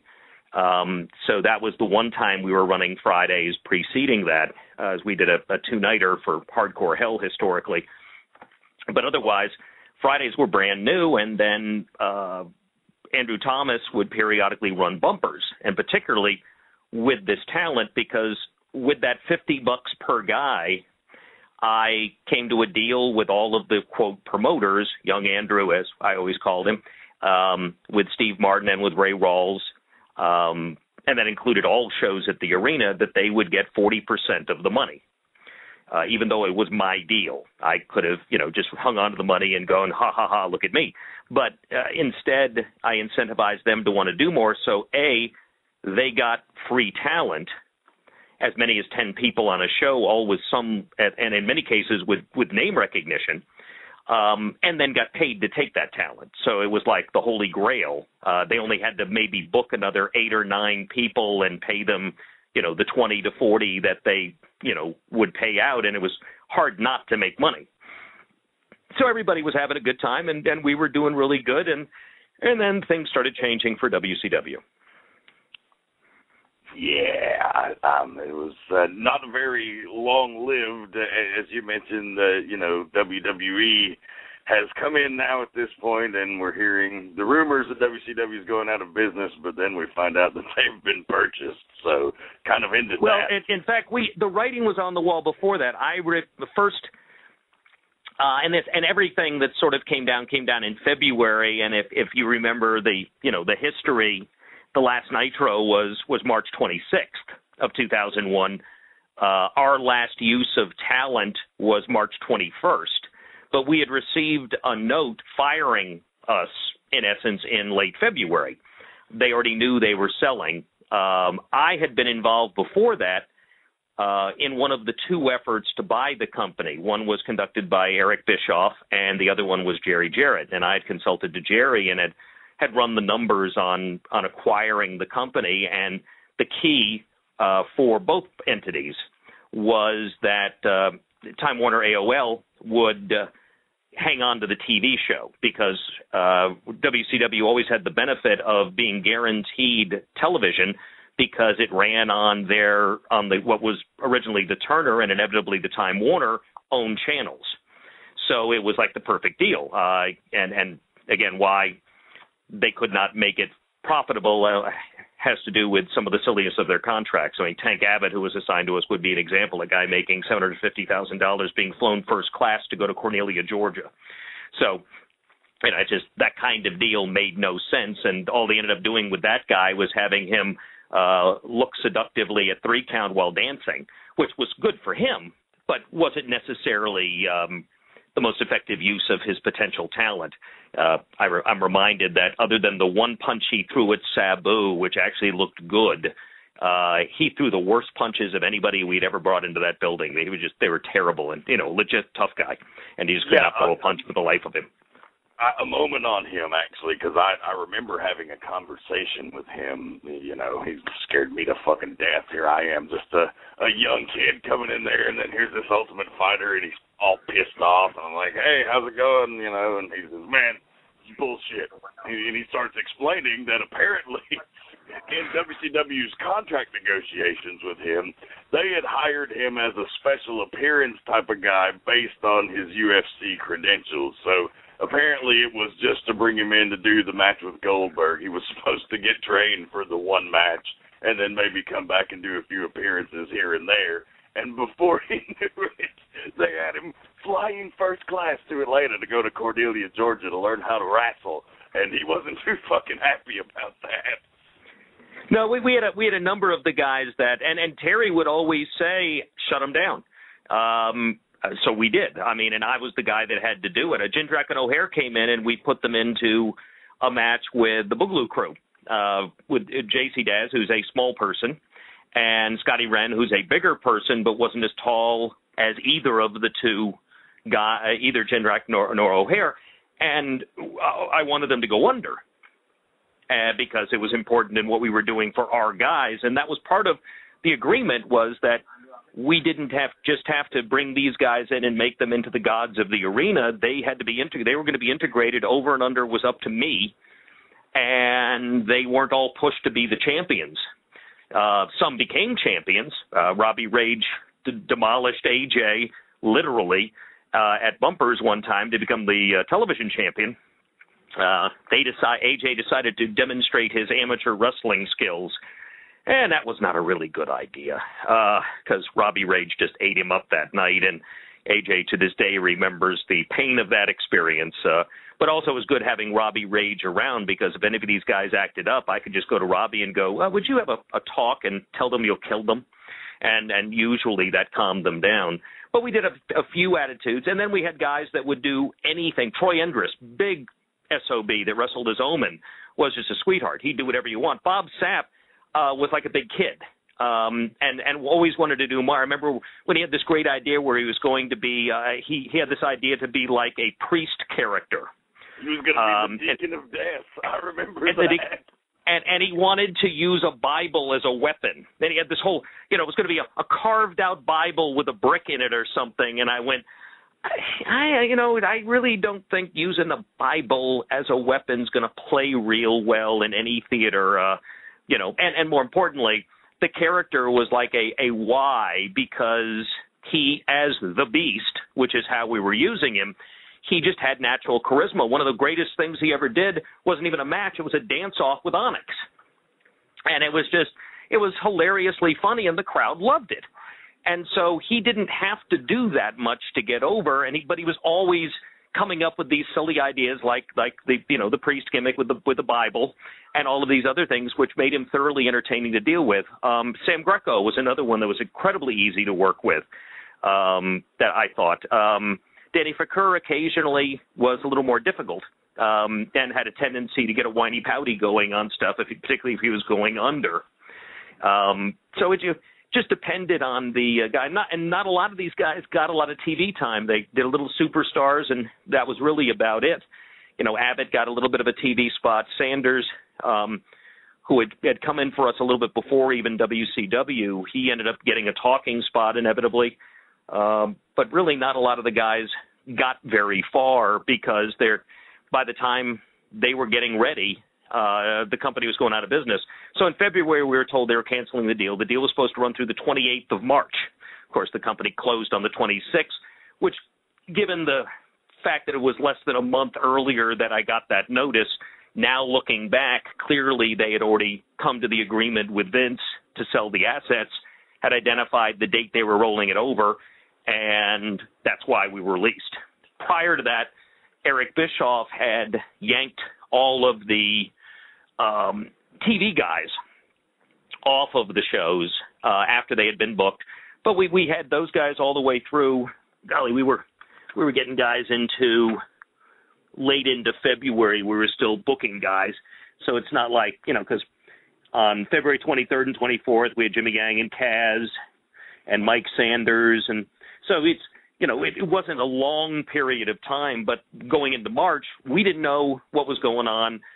We hoped that we, you know, and Terry Taylor really wasn't in the loop on the company going into business uh, that much. He had everybody had rumor, so we were being told that you know it was going to be reevaluated. We might be doing more, and then we got all the way to March 21st, and we had like four guys was was all that was left.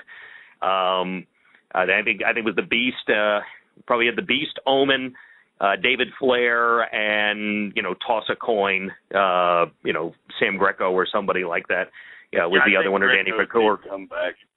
I, I believe huh? Greco came back. I, I don't think Danny. Well, Greco came had back. Greco had one one perfect storm of a bad time because he was supposedly this this kickboxer guy from Australia, and uh, they, it's um I, I guess they didn't know until after the fact that he wasn't you know the Rob Van Dam or they're not the Rob Van Dam the the Van Dam or the uh, the martial arts uh, guy of Australia that he had claimed to be.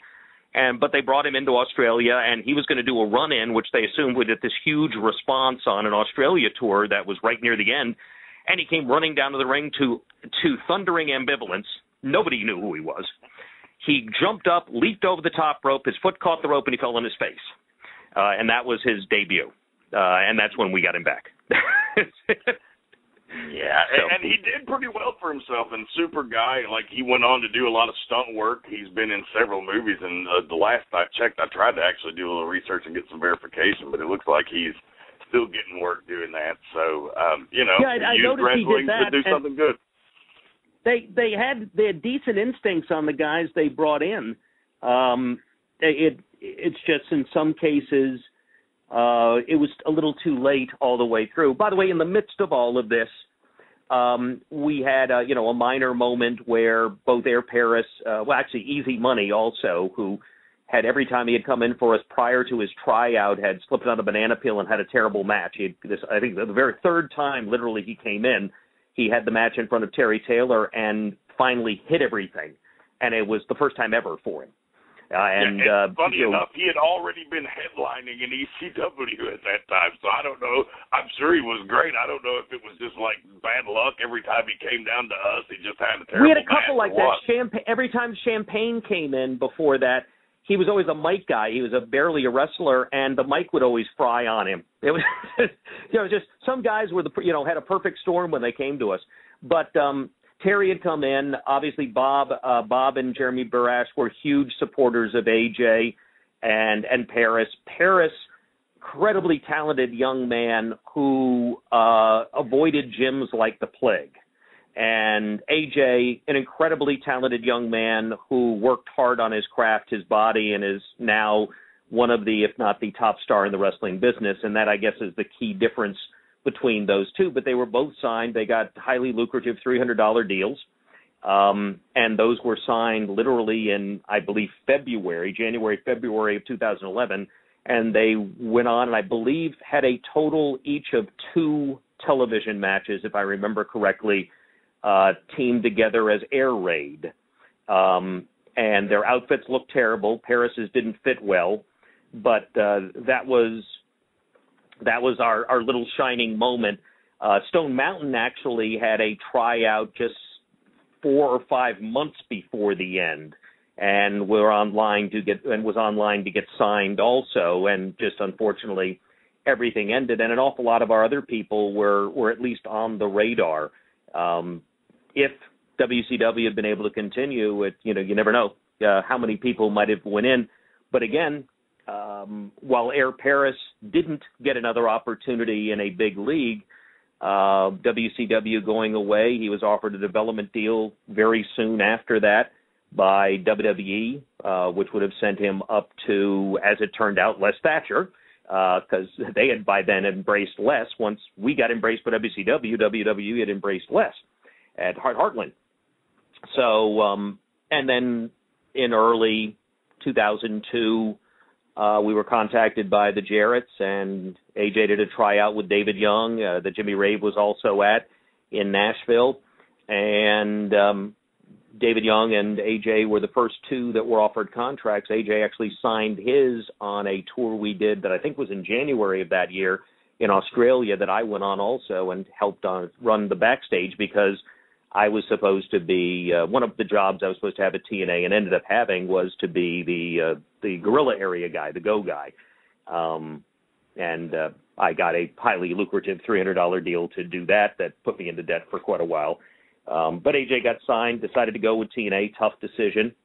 Uh, he had just bought a house, and that was the primary reason. He uh, didn't want to leave home and leave Wendy with a new house and uh, you know a just recently married situation and he uh, thought TNA which at the time was just going to be these Wednesday shows pay-per-views every Wednesday sounded like an easy gig. You drive up you drive home you're gone for a day. Easy peasy.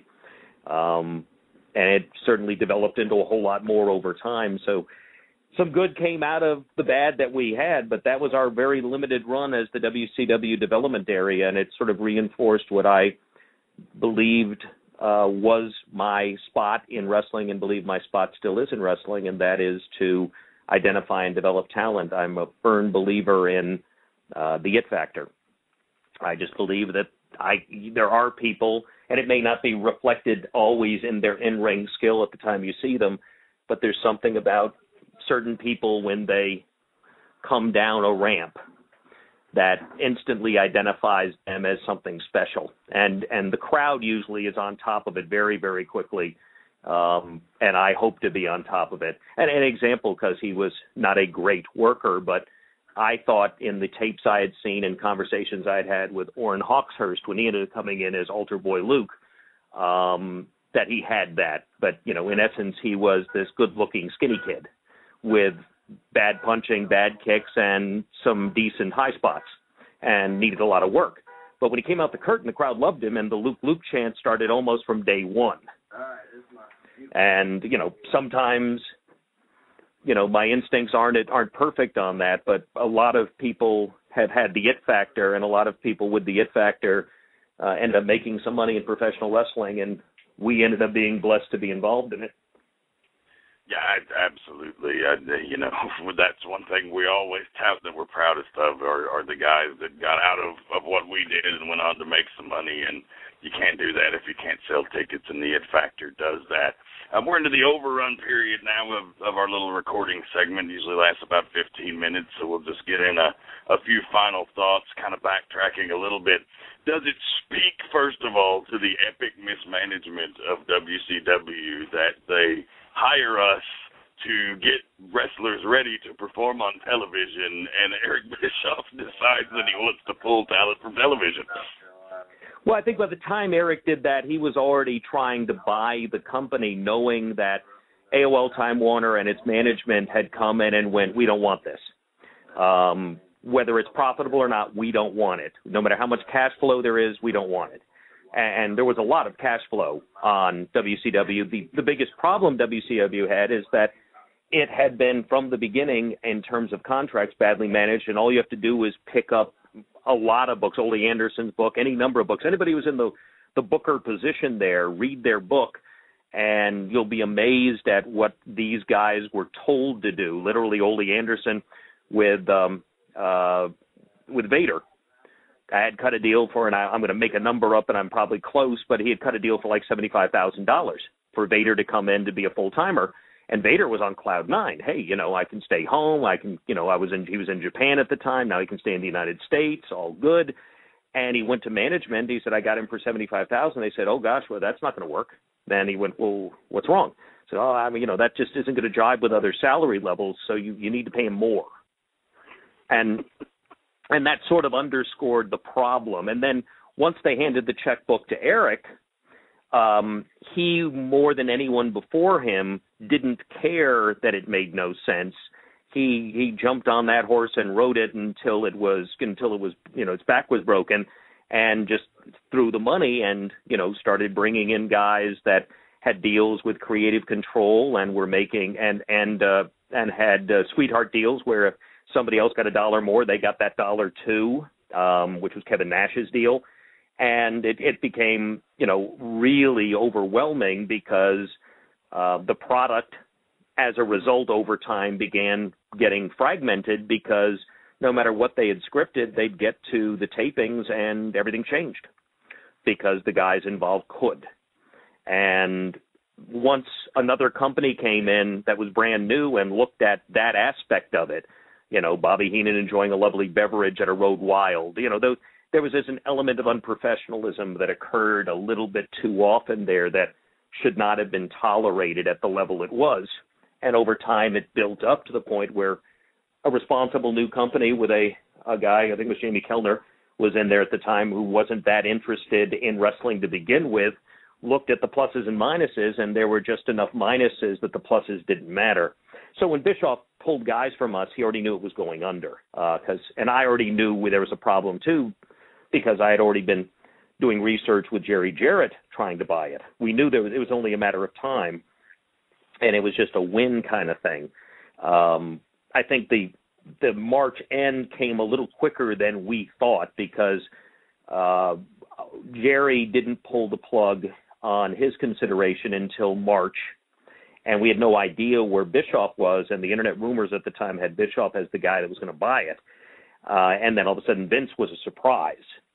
Uh, but it wasn't a surprise after we found out what he bought, because he didn't buy um, anything he didn't want. He primarily bought the library, and and he bought to the extent he wanted them the contracts, but a number of the contracts were specifically with the corporation rather than with the corporate entity that was the wrestling rather than WCW. So a number of the guys had pay or play kind of deals that just had to be played out, um, including most of the top talent, you know, the Hogans and the Nashes and people like that. Their their contract, uh, even if the company was sold, had to be paid. and and also in the midst of all this, there were some lawsuits that were out there with with various non-talented people suing for discrimination, including the now incarcerated Hardbody Harrison.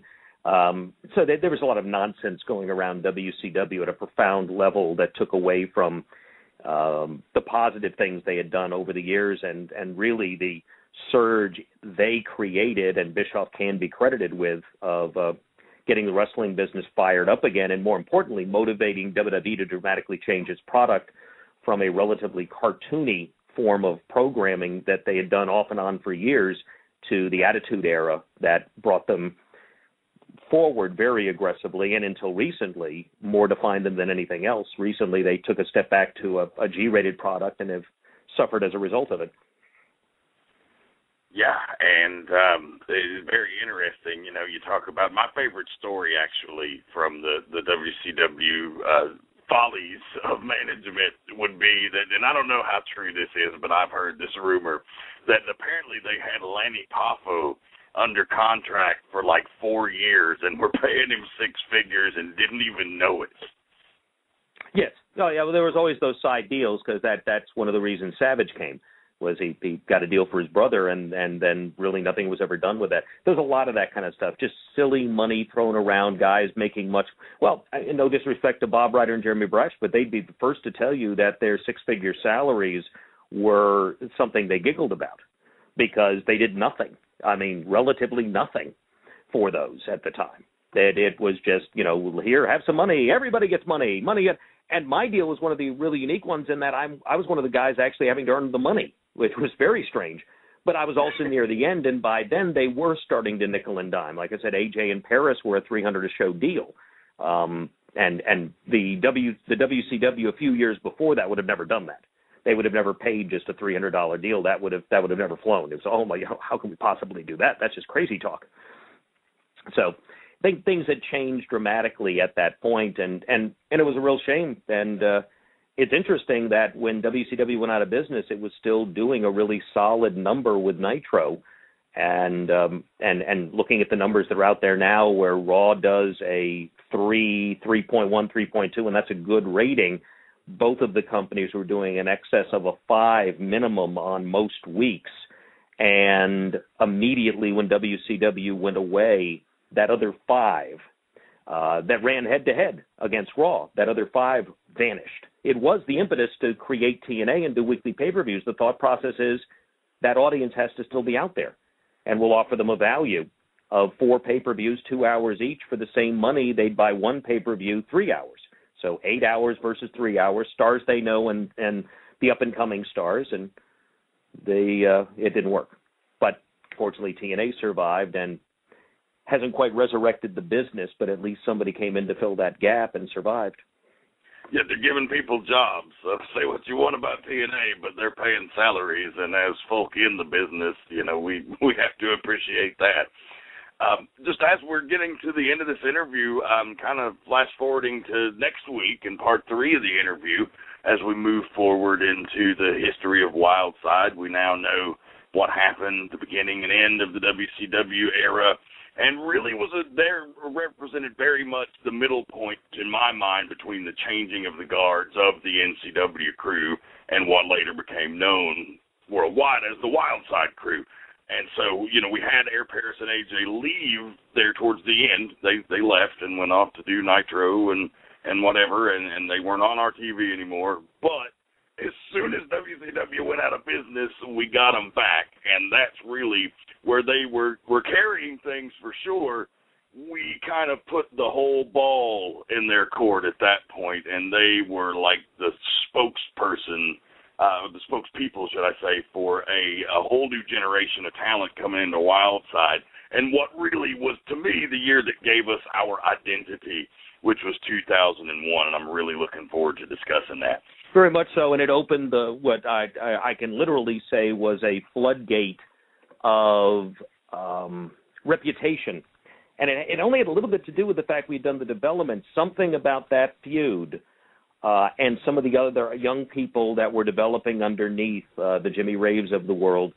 Something about that because these people were starting to get out and were starting to work for the combat zones and the the early Ring of Honors and uh, and and we're getting and even Ian Rotten stuff was was hot at the time, at least from an indie standpoint in the Midwest, and there were all these little things that were going right as we started heading into 2001 into 2002, and next thing you knew, the people from all over the United States, quite literally, uh, wanted to come in, and a goodly number of those people, uh, as John Laurinaitis told me, the, you you develop small people and I went, well, yeah, except of course for you know Iceberg, Hot Stuff, Hernandez, Abyss, you know, blah blah blah, because um, our champions, almost with with rare exception, were big people, and our small people champions never held the belt. AJ, as a heavyweight champion, didn't hold the, hold the title for more than three months.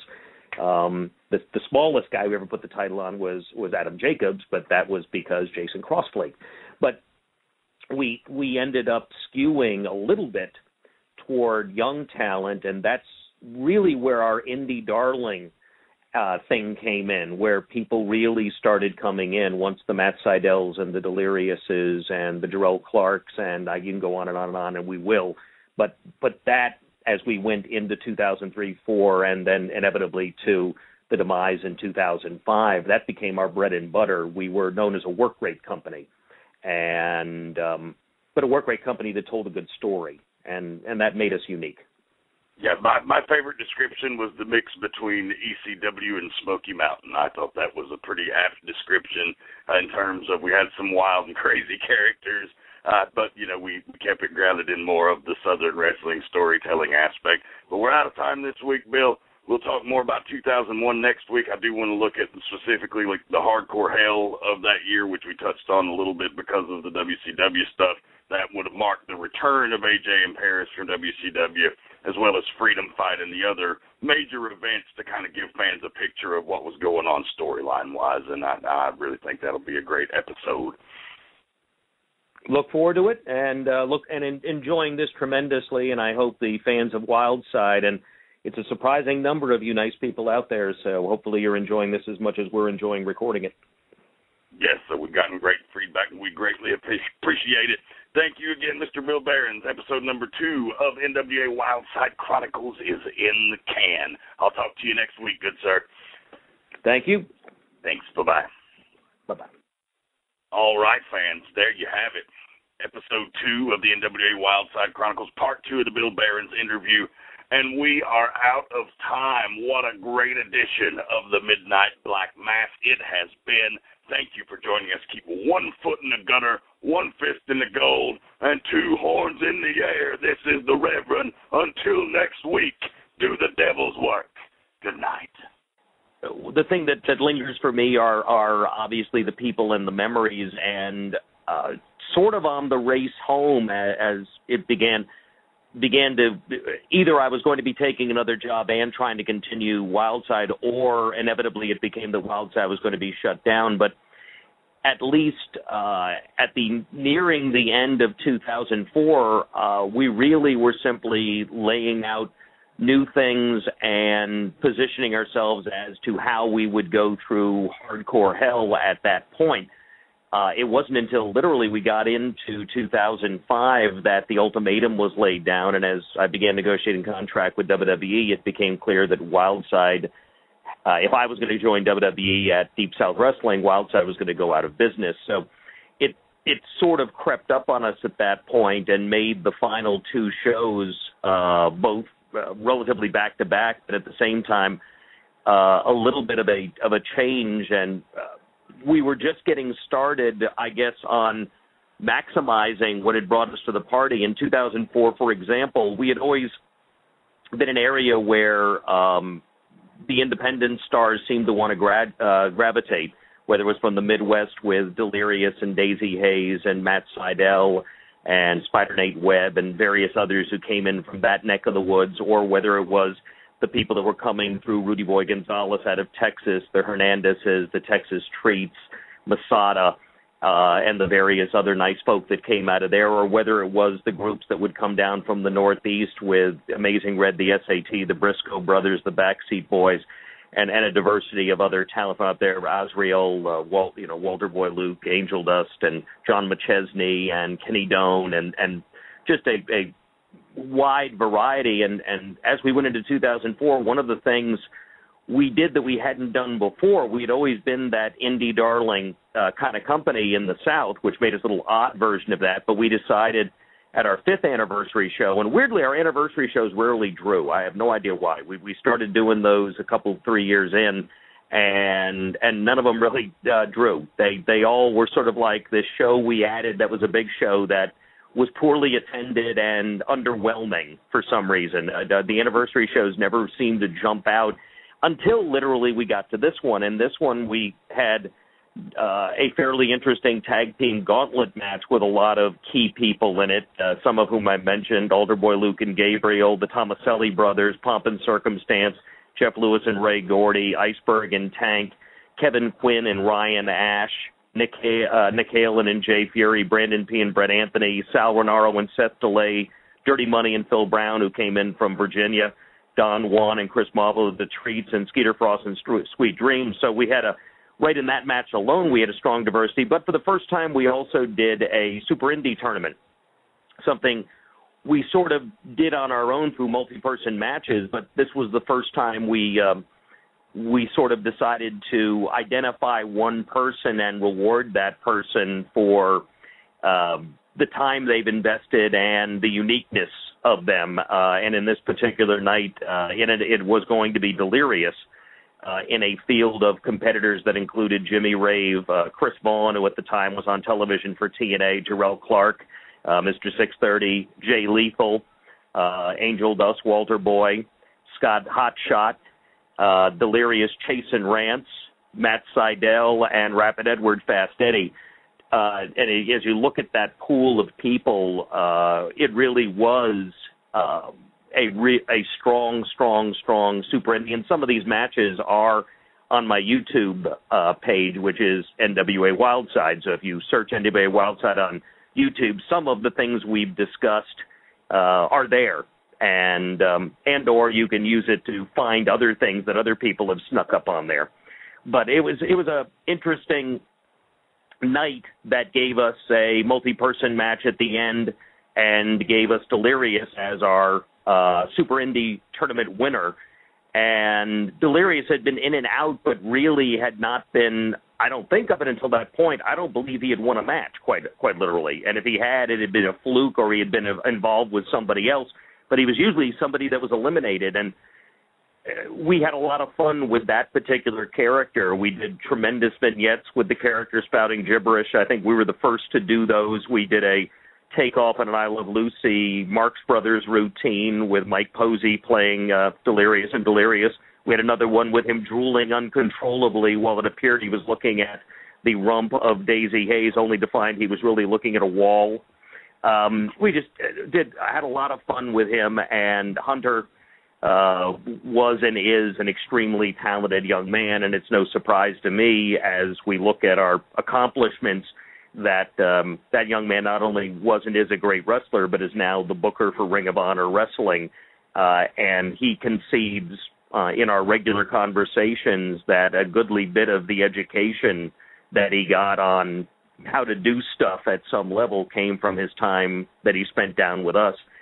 So we were doing a lot of that stuff going to the end. I wonder how long we would have kept it going. Following us, there was an NW Anarchy company that came in, but it didn't quite get started picking the ball up from us the way perhaps it could have or should have for whatever reason uh, it sort of stumbled a bit and became more of just uh, a southern indie rather than a destination. Um, Jerry Palmer came in, and uh, I came back after Deep South with Todd Sexton, uh, and at and at a different time Dan Wilson, and uh, we were able to change the direction of the company and begin to creep it back toward what Wildside had been accomplishing, and it it became something of a destination itself with with Gunner and Consequences Creed as two examples coming out of that.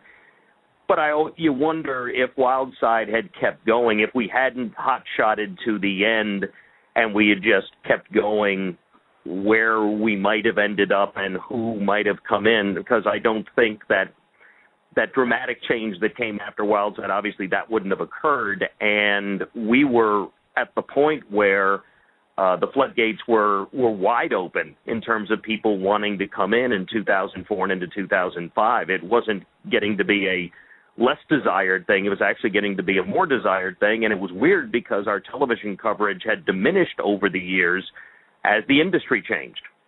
Uh, we were defined by our television that was at one time in about 50% of the country on a couple time periods in Atlanta at one point, seen by all sorts of folk and and really helped establish a reputation. But by the time we got to 2005, rather than 50 million households, if if it was possible that 10 million households could receive it, I would have been surprised just because the networks that we used to do business had had faded, and at the same time, cable had started to uh, its dramatic growth, and the internet had, had started to intrude, and anyone with a camera was uh, that could plug into the internet was able to create a television show. Whereas when we did it, and up and until that time, it was a fairly unique thing.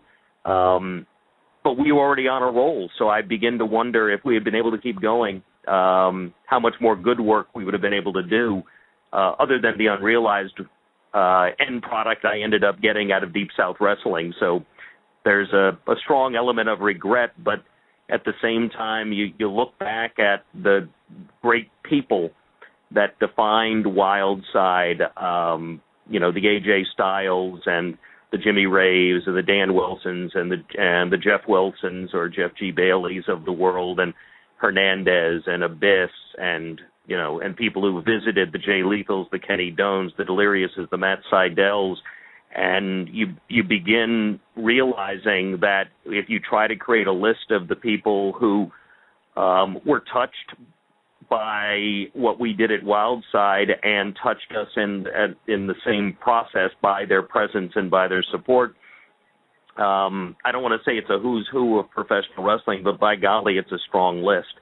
Um, and we were never known for the place that pushed the established star. We were never known as the place that showcased um, somebody's aging and failing career at the tail end. It, it we'd bring in legends. We'd bring in Larry Zbyszko. We'd bring in Ole Anderson, Dusty Rhodes. Uh, you know, uh, at some level, New Jack, I guess, was at something of a legend area when he started coming in, although he was relatively just part of the crew uh, when he came into us. Dory Funk Jr. coming in for the times he did. Um, whenever we brought people of that status in, it, it more often than not, what we were doing had a lot more to do with – our storyline, our talent development than it did in uh, enhancing them. I mean, Dory Funk literally used to bring his students up, including uh, Paul London um, and uh, Adam Windsor, who was coming up on a regular basis, and the uh, the infamous referee, the Claw, uh, who's still out there uh, clawing her way to the top. So um, we had we had a, uh, a a really tremendous crew, and if you were able to make it in Wildside, uh, a you you had the confidence you could make it other places, and b you did. Um, and if you didn't fit in at Wildside, it usually was because you couldn't keep up. And keeping up didn't necessarily mean that you could go like AJ Styles, because you could keep up by having personality. Uh, you know, the Mr. Deliciouses of the world, JC North, and the Don Juans of the world were probably not our greatest workers, uh, but at the same time they delivered because they they delivered character, and we developed both. We developed in-ring skill, and we just we developed characters and personality, and that means we were teaching the entire package that creates professional wrestling. Because professional wrestling is an art form. It's a it's a live theater form that is so unique uh, that it confuses many uh, who don't understand it and therefore dislike it, and those who do understand it fall in love with it and have a very difficult time getting away from it because it's addictive. Um, Mike Posey refers to it as the obsessive wrestling disorder, and to some extent, uh, my degree in psychology tells me he's not far off in that. Because uh, I'm obsessed with professional wrestling. I transitioned out of television into it, and Wildside was um, the entity that transitioned me from being TV boy, as I used to refer to myself, into being a professional wrestling person. Um, by the time Wildside was over, I was relatively out of the TV business and I was making a living in the wrestling business. Uh, and when I went into Wildside, it was the total opposite. Wildside made me into a wrestling person, and um, that's not a bad thing. In fact, that's a pretty damn good thing. As I go online today, I go to Facebook as we record this, which is uh, the tail end of this is uh, third week of September, and um, there's a minor rumble as I posted episode 90, uh, whatever it was, 95 of uh, Wildside. But the end of a wildside.com, by the way, folk can go and there's 95 episodes, or at least some of them up there, and uh, I've dubbed off through 100. Uh, uh, Dan, your DVDs will be brought when I see you at TV. And um, the uh, there's beginning again a conversation of something we've thought about ever since Wildside ended, and that is the inevitable Wildside reunion. And uh, chiming in today were Corey Chavis, Rain Man, Scotty Wren, Jason Cross, Tank. Um, and I have a feeling that if more people notice, more will, and it'll it'll start to reinforce everything we've been discussing because you're going to see a really really strong list of folk that would enjoy um, doing it one more time. And who knows, maybe we will. Yeah, certainly I- at this I- point, a reunion. Uh, certainly at this point, seven years later, a reunion makes a little more sense to me than it did two years later. Sure. And uh, I'd be willing to take off the paint and put on a flowery shirt for a night. But would you spike the hair? Uh, too much of it to spike. Well, too much of it in the back and not enough of it on the top to spike. So I, I have a twofold problem there. And we'd have to get Prazak back to tell bad jokes. It would be uh, it would be entertaining if nothing else. And uh, I guess maybe uh, as an outgrowth of this, as an outgrowth of the NWAWildside.com site or my Facebook page, um, let's see if we can hear some from some folk, and not just our talent, but uh, an awful lot of fans uh, out there. So Sean Waltman, get in touch. You know, so let me let me know if you think we should do this thing again. Sean was our our greatest fan at at uh, 2 a.m. in Milwaukee. Although yeah. I think he walked it through Minneapolis, so I'm not really sure how, but he seemed to always see the Milwaukee feed. Never understood that. well, it's been a, a fantastic interview, Bill. I really enjoyed looking back, and I, as I say, once I get some of the other guys on the show and more stories go into recounting, uh, you know, maybe we'll have you back on to get your take on some things that I know this won't be the last time we see you. Um, just in closing, like one thing that that I did want to, mention, um, just and I don't know if you can talk about it. If you can't, that's fine. But with the, the wild side being the topic of discussion, um, it was called NWA Wild Side, and um, just reflections on how that related to what we did. You know, like um, there was a lot of NWA promotions. I always thought personally we were the one that stood out the most, but others might have disagreed. But regardless, um, there was a, a Well, and if they and, if, relationship and, and if they brand. disagreed, they would have been. And if they disagreed, they would have been wrong. Um, with the exception of some individual shows that Howard Brody did that furthered the brand at the time, uh, and the early work that I was involved with with Bert Prentice in Nashville. Um, what we did in Wildside had the greatest visibility and the greatest coverage of anything in the National Wrestling Alliance. And I, I, by the way, there's a Wikipedia page for Wildside I've never put a word on, uh, and it starts by identifying that of us. I have no idea whoever did that page, but it's it's really it's updated all the time and it's very accurate. So God bless whoever's doing it because I never had the patience or the ability. But um, I was always a fan of the National Wrestling Alliance. I grew up in the state of Florida watching Eddie Graham's promotion, and my favorite feud historically was Dory Funk Jun, uh, Jr. versus Jack Briscoe, which I got to see live one time in a 60-minute Broadway in uh, the fine city of Atlanta at, at I believe, uh, the, either the Civic Center in Municipal or a Municipal Auditorium downtown. Um, one of only two major wrestling shows pre TNA WWE that I ever saw. The other one being at the Omni um, with a main event of the Superstar versus Tommy Rich in a cage, and uh, Abdullah the Butcher versus Tor Kamata with the Great Mephisto managing, which you know you can't go wrong with that kind of shit. Anyway, um, but we we were the flagship. And we honored the champions. A lot of the titles uh, were defended. We we were a showcase for, um, at in particular the uh, the NWA Junior title and the NWA Tag Team titles, as uh, we both featured and created Bad Attitude, who were multi-time champions. We featured the Rock and Roll Express in one of their nine million runs as champion and put the titles on them. Um, Heck, we even had uh, three count as champions for a half a minute, but we also had the new Heavenly Bodies come in as champions, Disturbing Behavior come in as champions. Um, and that was just one of it. The national title changed hands frequently and was relatively uh, recreated in our area. Um, and you can go on and on. And uh, we intended to have the world champion in more, but we had some minor issues with that. Uh, Steve Corino uh, got lost on his way to the arena, and uh, of course, we we told the story of Jeff Jarrett and AJ Styles, um, but we did have Sabu, so uh, we we got a champion in at some point at least. But we we really tried to progress the brand, and I think through the mutual association, the brand benefited, and we were able to benefit from utilizing the brand quite literally.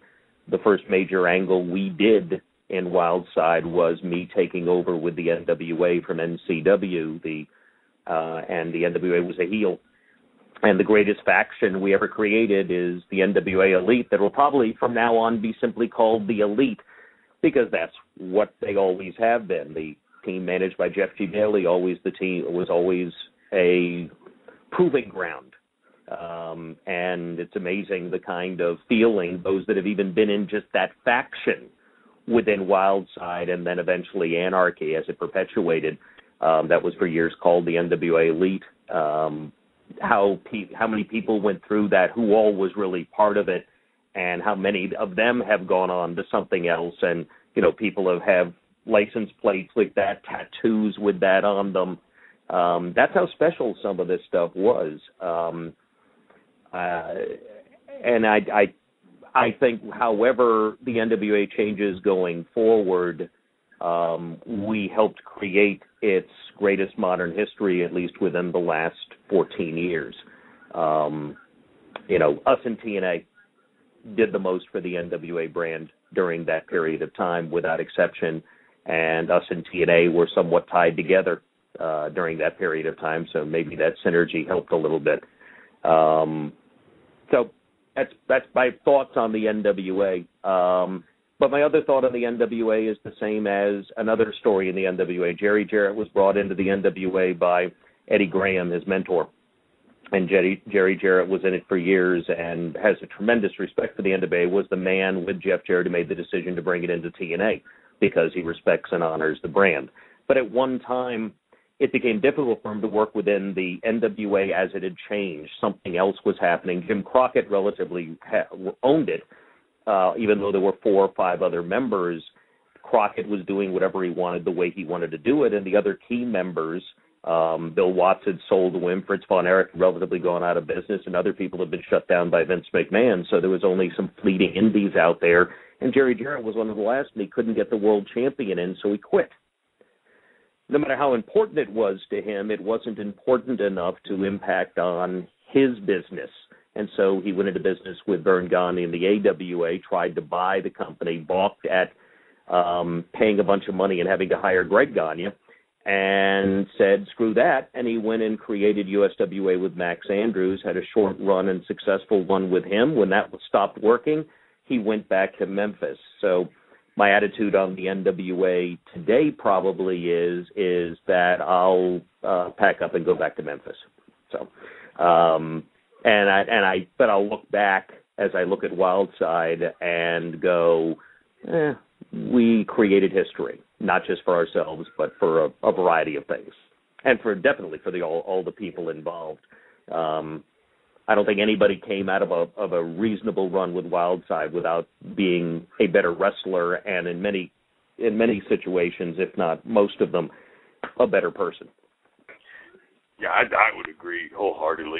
I think that was one thing we got a lot of flack from some of the die-hard, what I would call NWA Trekkies who tend to post on their message boards, you know, uh, seem like nice enough folks, but fairly delusional in some cases. Um, my, one of my one of my great memories is is frequently we were voted as the promotion of the year by the uh Virginia people, but it was always like a tie between NWA Virginia and us. I always thought that was entertaining. even even even when other people felt they needed to honor themselves, they they sort of threw us in, just going, "Wait, see, we're we're as good as them." and you have to take that as a as a form of flattery at, at that level. I, I think that. I remember other people brought Wildside in to feud with them. We really never did that on our end. I never really had an interest in doing that. We created our own feuds. Wildside was brought to Combat Zone Wrestling for a short run feud. Wildside went down and did a hell of a setup for what could have been a tremendous feud in Florida if Howard Brody and the rest of his stupid ass crew with Ron Neely hadn't screwed the damn thing up after we had nuclear heat in the frickin' building. We actually had wrestlers fighting us, thinking we were doing everything we were doing. It was awesome. And then they all recover and stand there bleeding, and each of them cuts a promo, and I just wanted to shoot someone. Thank goodness Howard Brody was punched that night. yeah, there, there Somebody a should lot have of done it. invasions. Uh, the IWA Mid South did an invasion angle too, so that that was really cool, you know. Um, Yeah.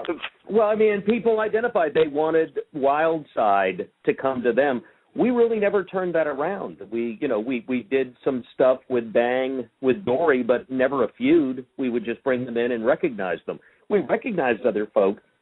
We usually recognized where people came from when they came in, but we, we were more as an entity. We were desired. It was it was a yeah, an easy feud to bring in a Wildside crew. Um, that's why I told my my crew periodically they'd go to a show and somebody that was a babyface in Wildside would go to a show in the same state and try to be a heel, and I'd get pissed off at that person, uh, and I'd get pissed off at them because I would say, "Did you look around the locker room and see any other Wildside guys?" And that person would go, "Yeah, there were four or five guys." I said, "Then you're at you're at a Wildside show. You're you're there." And you need to maintain the integrity of what you're doing. And if you're freaking babyface here, you're a babyface there. Now, if you go to another state and you go to you go way down the road, you can do whatever the hell you want to be, but you don't screw with what we've established here simply because it's convenient on that night. You recognize that your storyline progresses outside of that little teeny building that holds 200 people in Cornelia, Georgia. That doesn't define you. You're defined by some a much bigger universe than that, and you got to respect it. Yeah, uh, that that was a, a point that I still staunchly agree with. When you have you know shows on television, you need to if you're anywhere where people can see the television in particular, you need to be maintaining consistency there. But in, in, in any event, you you've wrapped up thoughts on the NWA Wildside as a whole. Anything else you want to put out there for the people? Uh, the, promote Just- your website, just- plugs, just- whatever. Just please go to wildside.com. Um, and you know, if if you ever want to, you know, give me feedback, uh, my email is showbiz s h o w b i s as in Sam. The Z was gone when I tried to get it nine million years ago. S h o w b i s at aol dot com. Um, so, any other questions I haven't answered, or any other greater interest? Who knows if people remind me of stuff I've forgotten, and golly, almost anyone could. Uh, maybe we'll do more of this, or maybe we'll end up heading toward that reunion and uh, see who we can drag out of their uh, out of their easy chair to uh, come in and show that they can still go. I, I will definitely be a part of it, and thank you again, Bill, for joining the show. We look very much forward to having you back on the program when the time comes, and we know it will as we move upward and onward with more NWA Wildside Chronicles. Thank you very much for joining us, and I hope you have a great one.